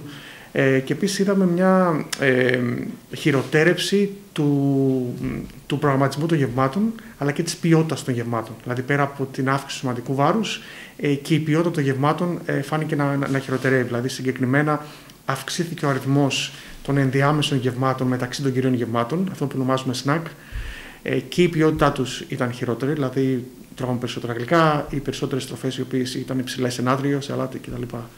Ε, και επίσης παρατηρήσαμε μια αύξηση σε περίπου 30% των καπνιστών, των νυν καπνιστών εκείνη την περίοδο, μια αύξηση στην κατανάλωση τσιγάρου. Το οποίο συνάδει, όπως σας είπα και με άλλες μελέτες. Σας θυμίζω πριν από κάποιους μήνες ε, κάποιοι συνάδελφοι ερευνητές στη Θεσσαλονίκη είχαν βρει όχι μόνο στη Θεσσαλονίκη και σε άλλες χώρες στο εξωτερικό, αλλά συγκεκριμένα ε, μια αύξηση τη ε, της έβρεσης ναρκωτικών ουσιών στα αστικά λίμματα. Οπότε είναι μια σειρά από εκθέσεις, έξις συνήθειες οι οποίες αλλάζουν κατά τη διάρκεια τέτοιων έντονων φαινομένων αλλαγής του τρόπου ζωής μας. Οπότε το σημαντικό για μας είναι να μπορέσουμε να ισορροπήσουμε μεταξύ της γνώσης τόσο το τι κερδίζουμε με τον εγκλισμό όσον αφορά πρόληψη θανάτων και ε, διασωληνώσεων για τον, και διαγνώσεων για τον νέο κορονοϊό, αλλά και τι χάνουμε ταυτόχρονα σε εισαγωγικά ε, σε σχέση με άλλα, με άλλα νοσήματα. Η τελική απόφαση είναι μια πολύ σύνθετη απόφαση, το οποίο κανείς δεν μπορεί να την πάρει πολύ εύκολα. Πρέπει να δομήσει πάρα πολλά δεδομένα. Ε, η, γενικότερη, η γενικότερη άποψή μου είναι ότι πρέπει να, και νομίζω συμφωνούν όλοι σε αυτό, ότι πρέπει να αποφεύγουμε όσο το δυνατόν, δυνατόν ε, καταστάσεις εγκλισμού και να παίρνουμε όλα και τα μέτρα νωρίτερα ώστε να αποφύγουμε ε, καταστάσεις εγκλισμού. Ενώ ενίσχυσης της δημόσιας υγείας και της κλινικής ιατρικής ε, και όλων των προγραμμάτων που έχουμε. Δηλαδή, χνηλάτιση, πολλά τεστ, το έχουμε αναφέρει και άλλες φορές, και ατομικά ο κάθε πολίτης φυσικά να προσέχει ατομικά ε, για να μην κολλήσει ο ίδιος και να μεταδώσει την νόσο σε άλλους. Μάλιστα την παρούσα περίοδο τρέχει η ίδια μελέτη προκειμένου να διαπιστωθούν αντίστοιχα οι επιπτώσεις που υπάρχουν κατά το δεύτερο lockdown των περιοριστικών μέτρων δηλαδή που είναι σε ισχύ από τον Οκτώβριο, με την χρονική μάλιστα διάρκεια της δεύτερης καραντίνας να είναι αρκετά μεγαλύτερη από ό,τι στην πρώτη φάση της πανδημίας. Παράλληλα με τις ερευνητικές προσπάθειες, στόχος της ερευνητικής ομάδας είναι και η παροχή πληροφοριών για την κατάσταση της υγείας των συμμετεχόντων και σε αυτό το πλαίσιο το προηγούμενο χρονικό διάστημα έγινε και δωρεάν μέτρηση των ειδικών αντισωμάτων έναντι του νέου κορονοϊού. Από τον Ιούλιο έως τον Οκτώβριο έγινε η μέτρηση σε 426 συμμετέχοντες, εκ των οποίων βρέθηκαν μόλις δύο θετικά αποτελέσματα σε αυτό το χρονικό διάστημα, κάτι που συνάδει και με την επιδημιολογική εικόνα που υπήρχε στην περιοχή το ίδιο χρονικό διάστημα. Αξίζει μάλιστα να σημειωθεί πως σε αυτές τις δύο περιπτώσεις των θετικών αποτελεσμάτων προέκυψε ότι επρόκειτο για ασυμπτωματικούς. Έχουμε την πρώτη ανάλυση, τις πρώτες αναλύσεις οι οποίες καλύπτονται από το τέλος Ιουλίου μέχρι το τέλος Οκτωβρίου. Είναι ένα σύνολο 465 ατόμων, αν θυμάμαι καλά, ακριβώς το νούμερο. Σε αυτά τα άτομα περιλαμβάνονται και άτομα τα οποία είχαν μπει στη μελέτη υγείας υπήρου νωρίτερα, πριν τον Ιούλιο του 20, αλλά ενδιαφέρθηκαν να κάνουν το τεστ αντισωμάτων δωρεάν. Οπότε από αυτά τα 465 άτομα έχουμε μόνο δύο θετικά αποτελέσματα τα οποία αυτά τα δύο θετικά αποτελέσματα συνοψίζονται στον Οκτώβριο, είναι συμμετέχοντες του Οκτωβρίου, που έδωσαν αίμα τον Οκτώβριο εννοώ για τη μέτρηση, το οποίο ε, αποτυπώνει κατά πάσα πιθανότητα το γεγονός ότι νωρίτερα δεν είχαμε μεγάλα κύματα στα, στην περιοχή μας, στα Γιάννα, ε, αλλά είχαμε το εκείνο το κύμα, του, αν θυμάστε, τέλος Αυγούστου, Σεπτέμβριο, Οκτώβριο που είχαμε το, το κύμα. Αυτό ίσως αποτυπώνεται σε αυτά τα αποτελέσματα, αν όπως φαίνεται είναι μικρό όμως, είναι λίγα τα άτομα. Και ε, όταν επικοινωνήσαμε ε, με όλους τους συμμετέχοντες να τους πούμε τα αποτελέσματά τους, ε, οι δύο εκείνοι συμμετέχοντες που είχαν τα θετικά αποτελέσματα, από ό,τι μας είπαν τουλάχιστον τηλεφωνικά, δεν είχαν οποιαδήποτε γνώση ότι είχαν περάσει, είχαν κάποια συνοδά συμπτώματα. Είναι αυτό που ναι. λέμε όλο αυτό το διάστημα ναι. συμπτωματικών. Ναι. ναι. Ακριβώς έτσι φαίνεται και ελπίζω σύντομα να έχουμε το δεύτερη μεγάλη ανάλυση η μελέτη είχε κλείσει τον, τον Νοέμβριο στην αρχή του lockdown, αλλά ανοίξαμε πάλι από αρχές Δεκεμβρίου, οπότε σύντομα θα έχουμε και την άλλη ανάλυση. Για μία ακόμη φορά, ο κύριος Τσιλίδης απίθυνε πρόσκληση στους κατοίκους της Υπήρου ηλικίας 25 έως 70 ετών να λάβουν μέρος στην συγκεκριμένη μελέτη, η οποία χρηματοδοτείται μέσω του ΕΣΠΑ της Περιφέρειας Υπήρου συμβάλλοντας σημαντικά στη δημιουργία νέας γνώσης στον χώρο της υγείας και βέβαια με τους ίδιους τους συμμετέχοντες να έχουν την ευκαιρία για έναν δωρεάν λεπτομερή έλεγχο της κατάστασης της υγείας τους, αλλά και ένα αποτέλεσμα του τεστ των ειδικών αντισωμάτων έναντι του νέου κορονοϊού. Η μελέτη υγείας Επίρου αποτελεί ένα όραμα ερευνητικό ε, για τους ερευνητές που συμμετέχουν. Ε, είναι τη σημασία της ε, συνεχούς συμμετοχής και ενδιαφέρον από το κοινό της Υπήρου. Ε, οπότε όποιος ενδιαφέρεται ε, τον καλούμε να μας δώσει περίπου μια ώρα του χρόνου του, να μας, τον, να μας αφιερώσει αυτό το χρόνο για να του πάρουμε ε, κάποια δήματα αίματος και άλλων βιολογικών υγρών αλλά και κάποιες ερωτήσεις ώστε να μας βοηθήσει να κατανοήσουμε καλύτερα όχι μόνο ε, ερωτήματα όσον αφορά τον COVID, αλλά και για χρόνια νοσήματα που είναι ακόμα αναπάντητα. Οπότε, αν κάποιος ενδιαφέρεται, μπορεί να σε μια μηχανή αναζήτησης στο διαδίκτυο, στο Google παραδείγματος χάρη ή στο Facebook να πληκτρολογήσει το όνομα της μελέτης, μελέτη Υγεία Υπήρου, στα ελληνικά ή στα αγγλικά, Υπήρους Health Study, να βρει το διαδίκτυο εκεί μας σελίδα και μπορεί, έχουμε ειδική πλατφόρμα ε, online ραντεβού, διαδικτυακό ραντεβού, να επιλέξει την ώρα και την ημέρα που τον, που τον ε, ε, που μπορεί και να συμμετάσχει ή με ένα τηλέφωνο στο 26512 εργάσιμες ημέρες και ώρες να κλείσει το ραντεβού τηλεφωνικά. Με έκδηλη την αγωνία για την επόμενη μέρα και τον περισσότερο από ποτέ ορατό κίνδυνο για λουκέτα μετά από τρεις μήνες αναστολής λειτουργίας των καταστημάτων εστίασης, παρακολουθεί ο κλάδος τη συζητήση σε επίπεδο χώρας για την επανεκκίνηση της αγοράς, χωρίς όμως να περιλαμβάνεται στους κλάδους που επίκειται να λειτουργήσουν πιθανότατα και από την επόμενη εβδομάδα. Ωστόσο, φαίνεται πως ήδη έχουν αργήσει να διατυπώνονται και επιστημονικές απόψεις που κάνουν λόγο για επαναλειτουργία της εστίασης το επόμενο χρονικό διάστημα, αλλά μόνο σε εξωτερικούς χώρους με την ελπίδα να επιταχυνθούν οι διαδικασίες εμβολιασμού αλλά και αποκλιμάκωσης γενικότερα της πανδημίας στη χώρα μας, προκειμένου να μπορέσουν να ανεβάσουν ρολά όσο το δυνατόν συντομότερα ζουν οι επαγγελματίες στον χώρο της εστίασης. Τα καταστήματα υγειονομικού ενδιαφέροντος παραμένουν κλειστά για περισσότερο από τρεις μήνες, με τους φόβους για οριστικά λουκέτα να αρχίζουν να γίνονται πραγματικότητα σε κάποιες περιοχές. Το πρώτο ερώτημα που θα πρέπει να απαντηθεί από τους επιστήμονες είναι πότε θα είναι ασφαλές το άνοιγμα του κλάδου, ενώ το δεύτερο αφορά την ενίσχυση της ρευστότητας των επιχειρήσεων, για την οποία υπήρχαν δεσμεύσεις από την κυβέρνηση μέσω ενός πακέτου μέτρων εστιασμένου στην εστίαση. Οι αποφάσεις για το άνοιγμα του κλάδου δεν αναμένονται άμεσα, καθώς προτεραιότητα δίνεται καταρχήν στις εμπορικές επιχειρήσεις και τα καταστήματα του λιανεμπορίου και σε δεύτερο χρόνο θα ακολουθήσει η εστίαση. Δυστυχώς, το μέλλον προβλέπεται δυσίωνο, σημείωσε ο πρόεδρος του Σωματείου Εστιατορίων και Συνεφών Επαγγελμάτων του νομού Ιωαννίνων Παμφώτη, Χρήστος Τάτσης. Ε, Δυστυχώς για εμάς είμαστε κλειστοί εδώ και πολύ καιρό και το μέλλον προβλέπεται δυσίωνο. Ε, δεν βλέπω δηλαδή ε, πρόσφατα να ανοίγουμε άμεσα. Ε, αυτό σημαίνει ότι μας έχουν φέρει πολύ πίσω όλα τα, τα οικονομικά και όλα τα μέτρα που έχουν μέχρι στιγμής. Ε, δεν υπάρχει κάποια ουσιαστική στήριξη με αυτά που παίρνουμε, όπως είπε και σήμερα το πρωί σε μια συνέντευξη ο κ. Καβαθάς, 40 καταστήματα στη Θεσσαλονίκη της εστίας έχουν κλείσει, πολλά καταστήματα στο κέντρο της Αθήνας ε, και καταλαβαίνετε ακόμη είναι νωρίς. Ε, με το άνοιγμα των καταστημάτων, αν και καταφέρουν να ανοίξουν και όσα περισσότερα μπορούν, από εκεί και πέρα θα δούμε πόσα θα λειτουργούν και πόσες θέσεις εργασίας θα παραμείνουν είναι μια μεγάλη αλυσίδα και πολύ φοβάμαι ότι στο τέλος ε, ε, του ιού θα λείπουν πολλά κομμάτια από αυτή την αλυσίδα και θα είναι πολύ δύσκολο να ξαναανασυνταχθούμε και να προσαρμοστούμε πάλι στην κανονικότητα. Από τα Γιάννενα έχουμε κάποια στοιχεία, ενδεχομένως ότι κάποιοι συνάδελφοί σας ήδη έχουν αποφασίσει να βάλουν λουκέτο; Ε, επίσημα όχι, δεν έχουμε κάποια στοιχεία, γιατί αυτή τη στιγμή είναι κλειστά τα καταστήματα με κρατική εντολή ε, αν ε, με το άνοιγμα θα φανεί πόσα καταστήματα θα καταφέρουν να επανεκκινήσουν την επιχείρησή τους. Ε, εύχομαι να είναι όλα και να είμαστε πάλι όλοι μαζί. Δυστυχώς όμως όσο προχωράει και αυτή η κατάσταση διαονίζεται θα είναι πολύ δύσκολο. Πάντως, παρόλο που δεν φαίνεται η εστίαση να εκκινεί άμεσα, άρχισαν οι πρώτες σκέψεις, όπως εκφράζονται από ειδικούς, για επαναλειτουργία τους από τις αρχές Φεβρουαρίου, μόνο σε εξωτερικούς όμως χώρους.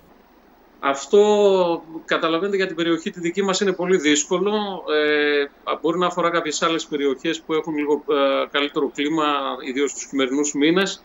Ε, αυτό ήταν και το ε, ευνοϊκό του το, το προηγούμενο lockdown όταν ε, έγινε το Μάρτιο και ξαναανοίξαμε τις 26 Μαΐου. Ήταν καλοκαίρι πλέον και μπορούσαμε να μιλάμε διαφορετικά. Τώρα αυτούς τους μήνες δεν μπορούμε να μιλάμε για εξωτερικούς χώρους, ιδίως στην πόλη τη δική μας ε, όπου οι θερμοκρασίες ε, θα είναι πολύ χαμηλές από εδώ και πέρα ε, και είναι πολύ δύσκολο να λειτουργήσουν με μόνο τους εξωτερικούς χώρους και μιλάμε για πολύ λίγα καταστήματα. Πάλι ε, θα ήταν αθέμητο και για κάποιους συναδέλφους αν έλεγαν ότι όποιος μπορεί να λειτουργήσει. Είναι ένα κομμάτι δύσκολο και για αυτούς που παίρνουν τις αποφάσεις και για μας που βιώνουμε τις καταστάσεις. Εκτός από συναντήσεις των εκπροσώπων του κλάδου με τα στελέχη του Υπουργείου Ανάπτυξης, σε τοπικό επίπεδο το Σωματείο θα έχει συνάντηση με τον Περιφερειάρχη Αλέξανδρο Καχρημάνη αλλά και με εκπροσώπους της Δημοτικής Αρχής. Αντικείμενο της συνάντησης με τον Περιφερειάρχη είναι το πρόγραμμα ενίσχυσης που υλοποιεί η Περιφέρεια, ενώ σε ό,τι αφορά τον Δήμο Ιωνιτών υπάρχουν παράπονα, καθώς ακόμη δεν αποτυπώνεται στους λογαριασμούς η μείωση των τελών. Πάντως, το βασικό αίτημα του κλάδου είναι η ενίσχυση της άμεσης ρευστότητα των επιχειρήσεων από την πολιτεία, χωρίς δάνεια και επιστρεπτέα ποσά, καθώς σε αντίθετη περίπτωση τα λουκέτα θα πολλαπλασιαστούν και θα χαθούν χιλιάδες θέσεις εργασίας. Εύχομαι να βρεθεί άμεσα η λύση ε, της επανεκκίνησης. Ε, με το καλό τώρα και τα εμβόλια δυστυχώς αυτή τη στιγμή ε, γίνονται με αργούς ρυθμούς, οπότε και αυτό ε, προκαλεί μια καθυστέρηση. Ε, ευελπιστούμε να γίνουν ε, συντομότερα όλα αυτά, να συντομεύσει η κατάσταση, να ανοίξουν γρήγορα τα καταστήματα. Ωστότε όμως, ε, όπως είπαμε, πρέπει να υπάρξει πρόβλεψη από το κράτος ε, για χρηματοδότηση, γιατί η μοναδική μορφή που μπορεί να γίνει αυτή τη στιγμή ε, κάτι στα καταστήματα τα δικά μας είναι με τη μορφή χρηματοδότησης ε, μη επιστρεπτέας ε, όπως έγινε ένα κομμάτι από την περιφέρεια, που και εκεί είναι κάποια ερωτήματα ακόμα που έχουμε αύριο ένα ραντεβού με τον κύριο Περιφερειάρχη, γιατί αρκετά καταστήματα της εστίασης είχαν χαμηλή βαθμολογία και έχουν μείνει έξω. Και δυστυχώς έχουμε καθημερινά, δέχουμε τηλεφωνήματα και έχω, έχουν περιέργεια ε, οι επιχειρηματίες να δουν τι θα γίνει και αν θα, τελικά θα ενταχθούν σε αυτό το πρόγραμμα, το οποίο είναι ε, μία ανάσα ε, για τα καταστήματα όταν είναι κλειστά, όπως έχω ξαναπεί σε παλαιότερες συνεντεύξεις, ότι δημιουργούνται τεράστια χρέη. Τα καταστήματα, όπως είπαμε, δημιουργούν ακόμη και κλειστά μεγάλα έξοδα. Και περιμένουμε και από το Δήμο μια απάντηση με τα τέλη. Ακόμη και εκεί υπάρχει μια ασάφεια και δεν έχουν καταλάβει πώς μπορεί να γίνει για, γιατί αυτή τη στιγμή έρχονται οι λογαριασμοί της ΔΕΗ στους, ε, στους οποίους λογαριασμούς υπάρχουν και τα τέλη τα δημοτικά μέσα. Πρέπει να βρεθεί μια λύση και σε αυτό άμεσα. Αυτή λοιπόν είναι η αγωνία για μία ακόμη φορά του κλάδου της εστίασης, ο οποίος εξακολουθεί να παραμένει κλειστός, ακόμη και αν τη Δευτέρα που όπως όλα δείχνουν θα πάμε στο άνοιγμα του λιανεμπορίου. Η εστίαση θα εξακολουθήσει να παραμένει, να παραμένει κλειστή και είναι, ένα, ε, είναι σχεδόν διπλάσιο το χρονικό διάστημα από την πρώτη ουσιαστικά ε, φάση της α, πανδημίας που η εστίαση ε, είναι κλειστή. Λοιπόν, θα πάμε να δούμε έτσι με ποιες προϋποθέσεις και κυρίως τι, τι προσδοκά επιχειρηματικός κόσμος από αυτή την επαναλειτουργία όπως διαφαίνεται από την ερχόμενη Δευτέρα. Θα συνομιλήσουμε ευθύ αμέσως με τον πρόεδρο της ΓΕΣΕΒΕ, τον κύριο Γιώργο Καβαθά. Κύριε Καβαθά, καλησπέρα σας για μία ακόμη φορά από τα Γιάννενα. Καλησπέρα κυρία Σταύρου, καλή χρονιά, καλησπέρα και στους τηλεθεατές σας και βέβαια να ευχηθώ και στους ε, τηλεθεατές καλή χρονιά, υγεία και δύναμη σε όλους μας. Αισιοδοξείτε ότι θα πάει τουλάχιστον σταδιακά καλύτερα αυτή η χρονιά από ό,τι ξεκίνησε κύριε Καβαθά ή κρατάτε μικρό καλάθι; Ε, δεν θέλω, θέλω να λέω τα πράγματα όπως είναι και όπως μας τα δίνουν και τα στοιχεία του Ινστιτούτου της ΓΕΣΕΒΕ.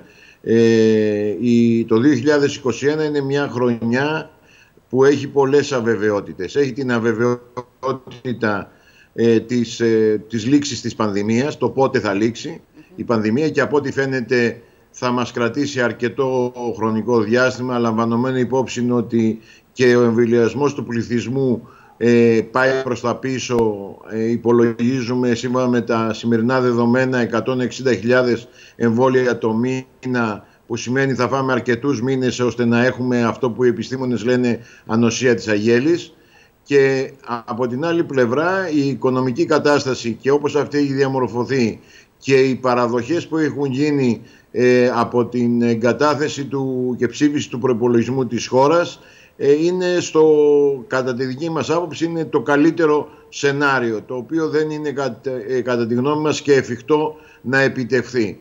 Ελαμβανωμένη υπόψη και της μείωσης των εισοδημάτων τόσο των φυσικών προσώπων. Μην ξεχνάμε ότι μέχρι στιγμής, τη στιγμή που μιλάμε μάλλον έχουμε περίπου 670.000 συμπολίτες μας με αναστολή συμβάσεων εργασίας, άρα ε, επιβιώνουν με 534 ευρώ και από την άλλη πλευρά οι επιχειρήσεις έχουν δει να χάνεται ένας ε, κύκλος εργασιών ο οποίος πλησιάζει τα 40 δισεκατομμύρια ευρώ το 2020 που σημαίνει ότι και η φοροδοτική τους ικανότητα για το τρέχον έτος ε, ε, όταν φορολογηθούν τα εισοδήματα του 20 θα είναι πολύ μειωμένα. Παρά τα αυτά ο προπολογισμό προβλέπει μια αύξηση των εσόδων των φορολογικών κατά 8 ποσοστιαίες μονάδες.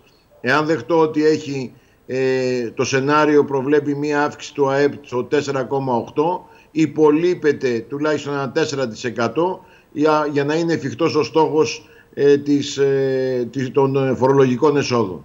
Και από την άλλη ε, πλευρά ε, έχουμε κάνει μια παραδοχή σε σχέση με το ε, τουριστικό προϊόν το οποίο το συμπεριλαμβάνουμε στις εξαγωγές. Προσδοκούμε ότι οι εξαγωγές θα αυξηθούν κατά 22% Το σενάριο και αυτό είναι, είναι ένα σενάριο αισιόδοξο, πολύ αισιόδοξο θα έλεγα.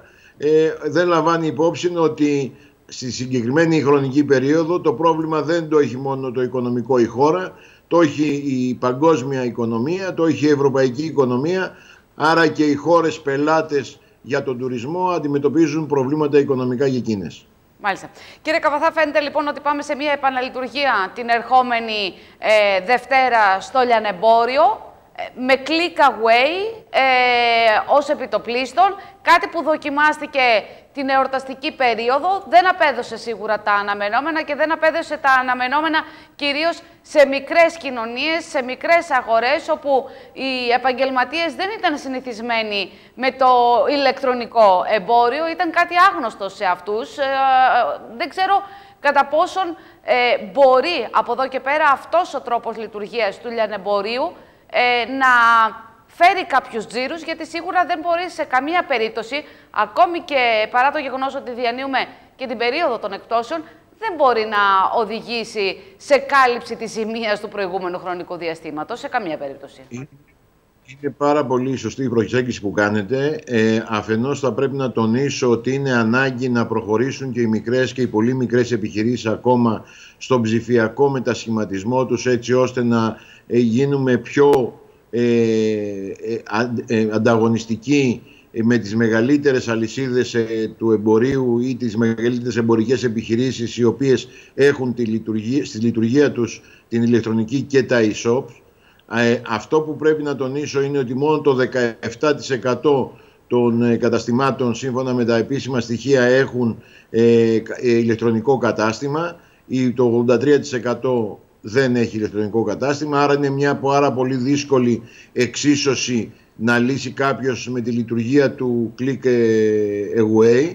Και νομίζω ότι η λειτουργία του Clip Inside ή Clip In Shop είναι μια λειτουργία η οποία και ασφάλεια παρέχει από τη στιγμή που υπάρχει, ε, είναι ραντεβού η επίσκεψη, με ραντεβού κλείνει η επίσκεψη, συγκεκριμένος χρόνος παραμονής στο κατάστημα, ένδυση, υπόδηση, αργυροχρυσογοία είναι τρεις ε, τομείς του λιανικού εμπορίου που εκ των πραγμάτων δεν μπορούν να λειτουργήσουν με τη μέθοδο του click away. Θεωρούμε βέβαια ότι θα πρέπει να είναι οριζόντιο το μέτρο και να μην αφορά μόνο τους τρεις κλάδους. Θα πρέπει να πάμε σε, στο click inside μέσα ε, για όλες τις επιχειρήσεις του λιανικού εμπορίου. Ε, άλλωστε κατά τη διάρκεια της λειτουργίας του λιανικού εμπορίου από, τον, από τις αρχές Μαΐου του 20 μέχρι και τον Νοέμβριο δεν είχαμε κρούσματα ή συρροή κρουσμάτων από καταστήματα λιανικού εμπορίου, άρα δεν μπορεί να κατηγορείται ο εμπορικός κόσμος της χώρας ότι θα αυξήσει την ε, διάδοση του κορονοϊού. Εάν όλοι μας ως πολίτες, ως καταναλωτές, ως επαγγελματίες, ως εργαζόμενοι στις επιχειρήσεις του λιανικού εμπορίου τηρήσουμε τα πρωτόκολλα τα υγειονομικά, θεωρώ ότι είναι μια ασφαλής διαδικασία. Ε, και νομίζω ότι χάσαμε πολύτιμο χρόνο, διότι το λιανικό εμπόριο έχασε και την εορταστική περίοδο του Πάσχα του 20, το θυμόσαστε. Ε, είχε μια κακή επανεκκίνηση κατά τη διάρκεια της λειτουργίας του με μείον 40% στον κύκλο εργασιών του και ε, από, το, από τις 6 Νοεμβρίου και σε κάποιες περιοχές, περιφέρειες της χώρας ε, έχουμε ε, περισσότερο από τρεις μήνες ε, σε lockdown που σημαίνει ότι έχουμε χάσει ένα μεγάλο κομμάτι του κύκλου εργασιών, τουλάχιστον πέντε μήνες από το 20 και αυτό δεν μπορεί να συνεχιστεί μάλιστα όταν από την περασμένη Δευτέρα 11 πρώτου έχουν ξεκινήσει οι εκπτώσεις. Ε, οι εκπτώσεις έχουν ένα τζίρο σύμφωνα με τα περσινά δεδομένα 5 δισεκατομμυρίων ευρώ.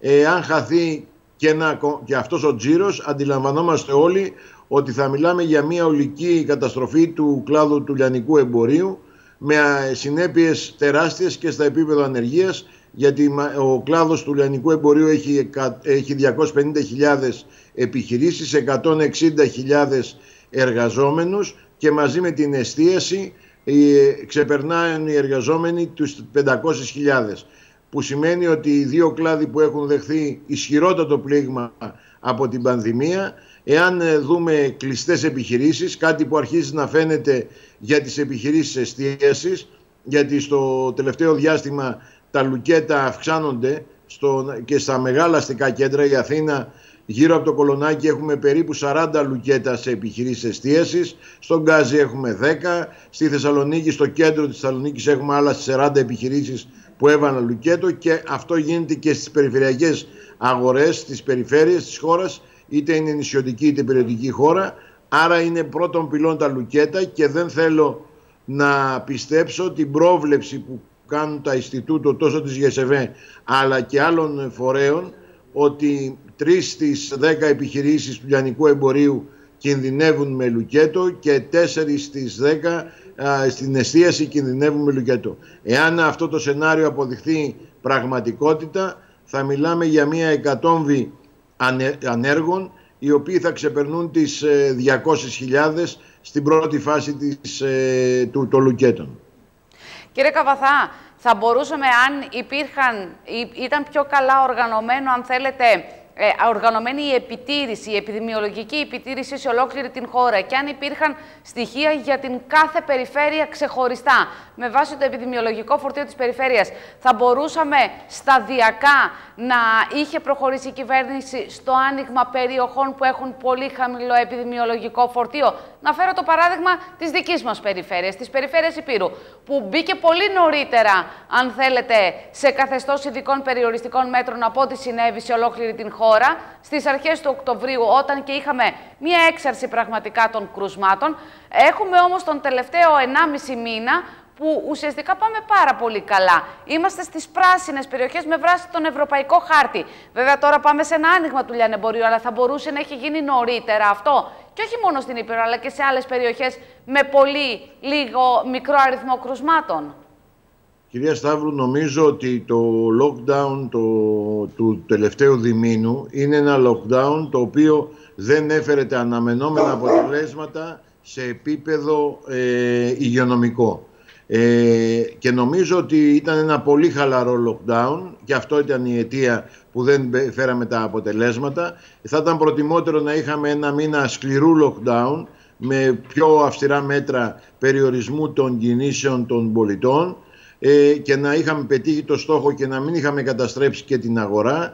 Δυστυχώς δεν υπήρξε αυτή η επιλογή. Η επιλογή ήταν να πάμε σε ένα χαλαρό lockdown, λαμβανομένο ενδεχόμενα υπόψη και του, ε, της περίοδου των ε, εορτών των Χριστουγέννων και της Πρωτοχρονιάς. Ε, αλλά σε κάθε περίπτωση αυτό που για μένα είναι άξιο απορίας είναι γιατί δεν έχουμε στη δημοσιότητα τα επιδημολογικά φορτία των περιοχών. Παραδείγματος χάρη ακούμε χθες το βράδυ να κλείνει η Αργολίδα και η Λακωνία, προχθές το βράδυ να κλείνει η Λέσβος, ε, χωρίς να έχουν καμία προειδοποίηση οι επιχειρηματίες της περιοχής ότι πάμε σε αυστηροποίηση του lockdown. Ε, και αντιλαμβάνεστε τι ζημιά ε, μπορεί να υποστεί ένας κλάδος όταν ε, ξαφνικά και απρόοπτα οδηγείται σε, σε αυστηρότερα περιοριστικά μέτρα. Ενώ κατά τη δική μου άποψη, θα, αν είχαμε τα στοιχεία διαθέσιμα, θα είχαμε και κρούσει και τον κόδωνα του κινδύνου, έτσι ώστε να αποφεύγαμε τα αυστηρότερα περιοριστικά μέτρα, που σημαίνει ε, ακόμα δυσκολότερο για την ε, οικονομία της χώρας. Και αυτό είχε η επιχειρηματικότητα, η ζημιά στην επιχειρηματικότητα, έχει ευθεία αντανάκλαση στην οικονομική ζωή του τόπου αλλά και στην εθνική οικονομία. Μην ξεχνάτε ότι το ΑΕΠ της χώρας το παράγει ο ιδιωτικός τομέας. Είναι εκείνος που κατά κύριο λόγο συμβάλλει καθοριστικά τόσο στις θέσεις εργασίας, είναι ο μεγαλύτερος εργοδότης στη χώρα, έχει πάνω από 2 εκατομμύρια, 2,5 εκατομμύρια περίπου εργαζόμενους, εν αντιθέσει του, του δημόσιου τομέα που απασχολεί περίπου 600.000 εργαζόμενους και ταυτόχρονα ε, έχει τεράστια φοροδοτική ικανότητα αυτή που κρατάει ζωντανή την οικονομία της χώρας. Και κάτι τελευταίο κύριε Καβαθά, ε, εφόσον ανοίξει το λιανεμπόριο από την ερχόμενη Δευτέρα, πόσο προσεκτικοί θα πρέπει να είναι όλοι οι επιχειρηματίες. Είπατε νωρίτερα ότι η εμπειρία του προηγούμενου χρονικού διαστήματος έδειξε ότι δεν υπήρξε διασπορά μέσα στα εμπορικά καταστήματα, ότι μπόρεσε να είναι διαχειρίσιμη η κατάσταση με βάση και τα υγειονομικά πρωτόκολλα και τα μέτρα που λαμβάνονταν. Επειδή ακριβώς όμως ε, αυτός ο κόσμος, αυτοί οι επαγγελματίες έρχονται να ανοίξουν και πάλι τα καταστήματά τους μετά από ένα πολύ μεγάλο χρονικό διάστημα, αν θέλετε, που ήταν κλειστοί και θέλουν να καλύψουν το χαμένο έδαφος όσο περισσότερο μπορούν. Πόσο κρίσιμο είναι όμως να τηρηθούν ακόμη περισσότερο και ίσως πιο αυστηρά, αν θέλετε, τα μέτρα και τα υγειονομικά πρωτόκολλα, κύριε Καβαθά, ώστε να μην έρθει αύριο μεθαύριο η κυβέρνηση και να πει ότι έχουμε αύξηση κρουσμάτων και πάμε σε ένα νέο κλείσιμο. Ε, κυρία Σταύρο, μου δίνει την ευκαιρία από το τηλεοπτικό σταθμό σας να κάνω μια έκκληση στους επαγγελματίες του λιανικού εμπορίου της ε, Υπήρου ε, και όπου έχουμε εμβέλεια ε, της εκπομπής σας. Ε, να είναι ιδιαίτερα προσεκτικοί στην τήρηση των υγειονομικών κανόνων προστατεύοντας καταρχάς τους ίδιους τους εαυτούς τους, τις οικογένειές τους, τους πελάτες και τους εργαζόμενους και αφετέρου διασφαλίζοντας την ομαλή λειτουργία της αγοράς του λιανικού εμπορίου διότι η λογική της λειτουργίας ακορντεών που ενδεχόμενα θα έχουμε από μια κακή εφαρμογή του ανοίγματος έστω και με το clip away ή το clip in the shop η επιλογή θα γίνει αύριο το απόγευμα, θα ανακοινωθεί τουλάχιστον αύριο το απόγευμα. Νομίζω ότι διασφαλίζει τα δικά του συμφέροντα, τα προσωπικά συμφέροντα του καθενός εμπόρου, αλλά και τα συμφέροντα της τοπικής κοινωνίας και της εθνικής οικονομίας. Θέλω να σας ευχαριστήσω πάρα πολύ κύριε Καβαθά για τη δυνατότητα να συνομιλήσουμε για μία ακόμη φορά. Εγώ κύριε Σταύρου σας ευχαριστώ πολύ για την πρόσκληση και να ευχηθώ σε όλους δύναμη, κουράγιο και καλή χρονιά και πάνω απ' όλα υγεία. Και εγώ να ευχηθώ να πάνε τα πράγματα όσο καλύτερα γίνεται για τον κλάδο του λιανεμπορίου από εδώ και στο εξής. Σας ευχαριστώ πολύ. Να είστε καλά. Και εμείς να συνεχίσουμε, κυρίες και κύριοι, σε έναν πλούσιο απολογισμό των μεγάλων αλλά και μικρών παρεμβάσεων που υλοποιήθηκαν την προηγούμενη χρονιά σε όλες τις αθλητικές εγκαταστάσεις ευθύνης του ΠΕΑΚΗ. Προχώρησε η Επιτροπή Διοίκησης με τη νέα χρονιά να έχει ξεκινήσει επίσης με σημαντικά έργα για την περαιτέρω αναβάθμιση των αθλητικών χώρων της πόλης. Το βλέμμα της διοίκησης του ΠΕΑΚΗ για τη νέα χρονιά είναι στραμμένο στους ζωσιμάδες αλλά και στην ανάπλαση της Λιμνοπούλα, ενώ αναμένεται η δρομολόγηση από πλευράς της Γενικής Γραμματείας Αθλητισμού του έργου της ενεργειακής αναβάθμισης του Κολυμπίου. video.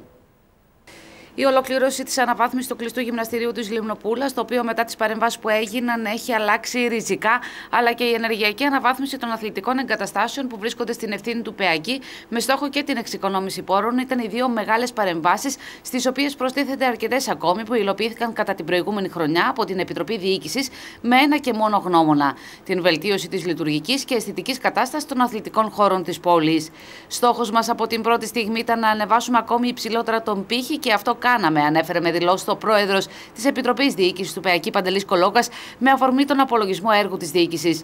Πλαισιωμένος από τον Αντιπρόεδρο Χάρη Λαζάνη και την Ταμεία Ελπινίκη Μπάρκα, ο κ. Κολόκας υπογράμμισε ότι η διοίκηση προσπάθησε και αυτό θα συνεχίσει να κάνει να διεκδικεί όσο το δυνατόν μεγαλύτερες χρηματοδοτήσεις από τη Γενική Γραμματεία Αθλητισμού, ώστε να γίνουν σημαντικά έργα στους αθλητικούς χώρους της πόλης προς όφελος αθλητών και πολιτών. Είμαστε η πρώτη διοίκηση πανελλαδικά που τον δημοσιοποιεί, θα πιστεύω θα ακολουθήσουν και άλλες. Ε, είναι ένας πλούσιος όπως το χαρακτηρίσατε απολογισμό. Το είπαμε, το δεσμευτήκαμε πέρυσι τέτοια εποχή, ε, μάλλον πιο πριν, ότι δεν θα σταματήσουμε ούτε μέρα τον αγώνα, την προσπάθεια για την αναβάθμιση των αθλητικών εγκαταστάσεων.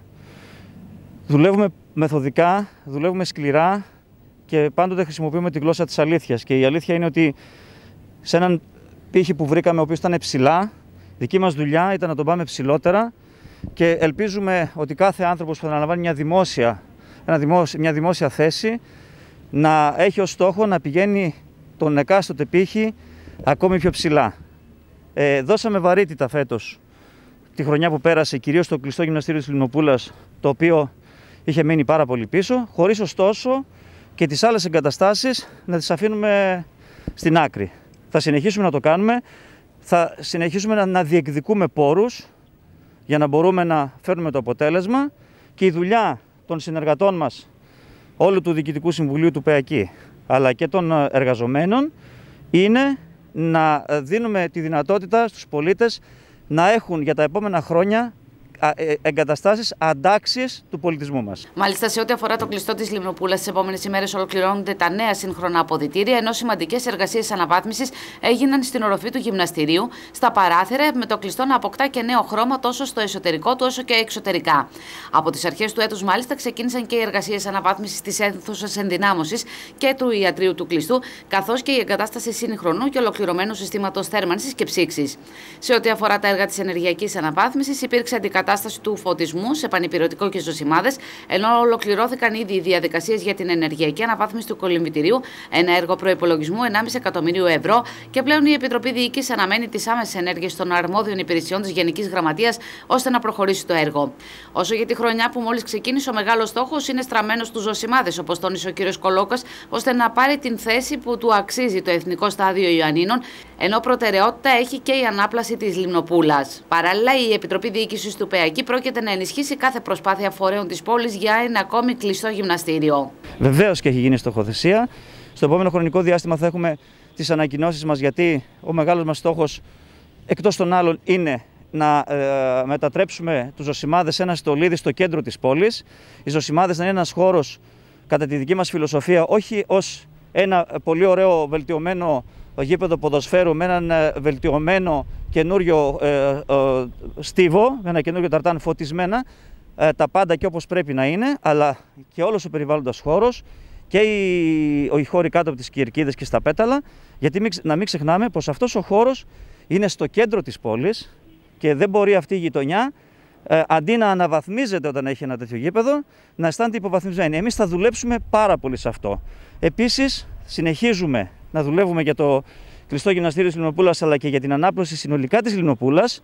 Έχουμε ολοκληρώσει ό,τι είχαμε να κάνουμε σε σχέση με την ενεργειακή αναβάθμιση του κολυμβητηρίου και περιμένουμε τις ενέργειες της Γενικής Γραμματείας και τις τεχνικές υπηρεσίες, την οποία θα πιέσουμε τη Δευτέρα που θα βρεθούμε εκεί, να προχωρήσουμε πάρα πολύ γρήγορα, γιατί από εμάς είναι όλα έτοιμα. Και βεβαίως ε, θα ενισχύσουμε κάθε προσπάθεια και όπου μας ζητηθεί στο να υπάρξουν καινούργιοι κλειστοί χώροι στην περιοχή μας, γιατί η περιοχή μας εδώ και δεκαετίες έχει μείνει αρκετά πίσω σε ό,τι αφορά τις αθλητικές υποδομές. Τώρα είναι η ώρα και υπό αυτές τις συνθήκες. Όσο για τα προβλήματα που υπάρχουν στο σχετικά καινούριο ταρτάν στο Εθνικό Στάδιο Ιωαννίνων, όπως καταδείχθηκαν με τις τελευταίες έντονες βροχοπτώσεις, καθώς πλημμύρισε χωρίς δυνατότητα απορροής των υδάτων, ο κ. Κολόκας εξήγησε ότι πιθανώς να υπάρχουν κατασκευαστικές αστοχίες, ενώ πρόβλημα με τις βροχοπτώσεις υπάρχει και στην καταπακτή εισόδου-εξόδου των αθλητών στον αγωνιστικό χώρο.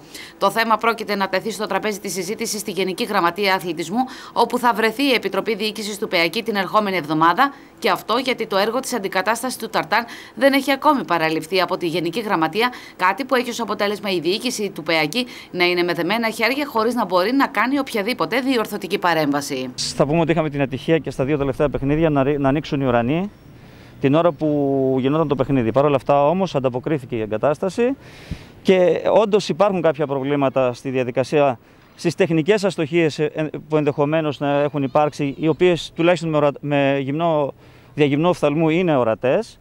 Παρ' όλα αυτά όμως εμείς επικεντρωνόμαστε στα θετικά τα οποία έχουν γίνει.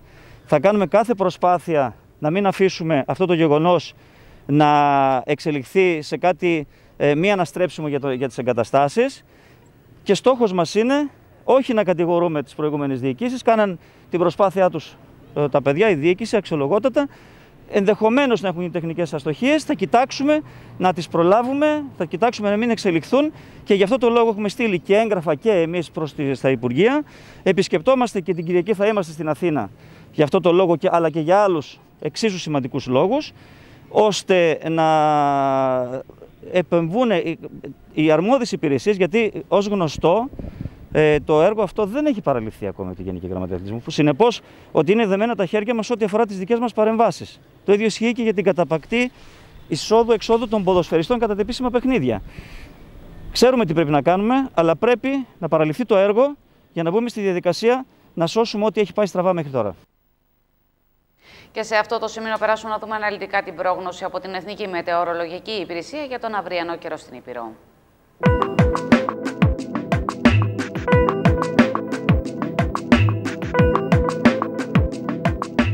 Ηλιοφάνεια με νεφώσεις και χαμηλές θερμοκρασίες αναμένεται να είναι τα κύρια χαρακτηριστικά του καιρού αύριο στην Ήπειρο. Οι άνεμοι θα πνέουν από νότιου νοτιοανατολικές διευθύνσεις. Η θερμοκρασία θα κοιμανθεί από μείον 2 έως 5 βαθμούς Κελσίου στα Ιωάννα, από 2 έως 7 στη Θεσπρωτεία, από 2 έως 9 στην Άρδα και από 3 έως 8 βαθμούς Κελσίου στην Πρέβεζα.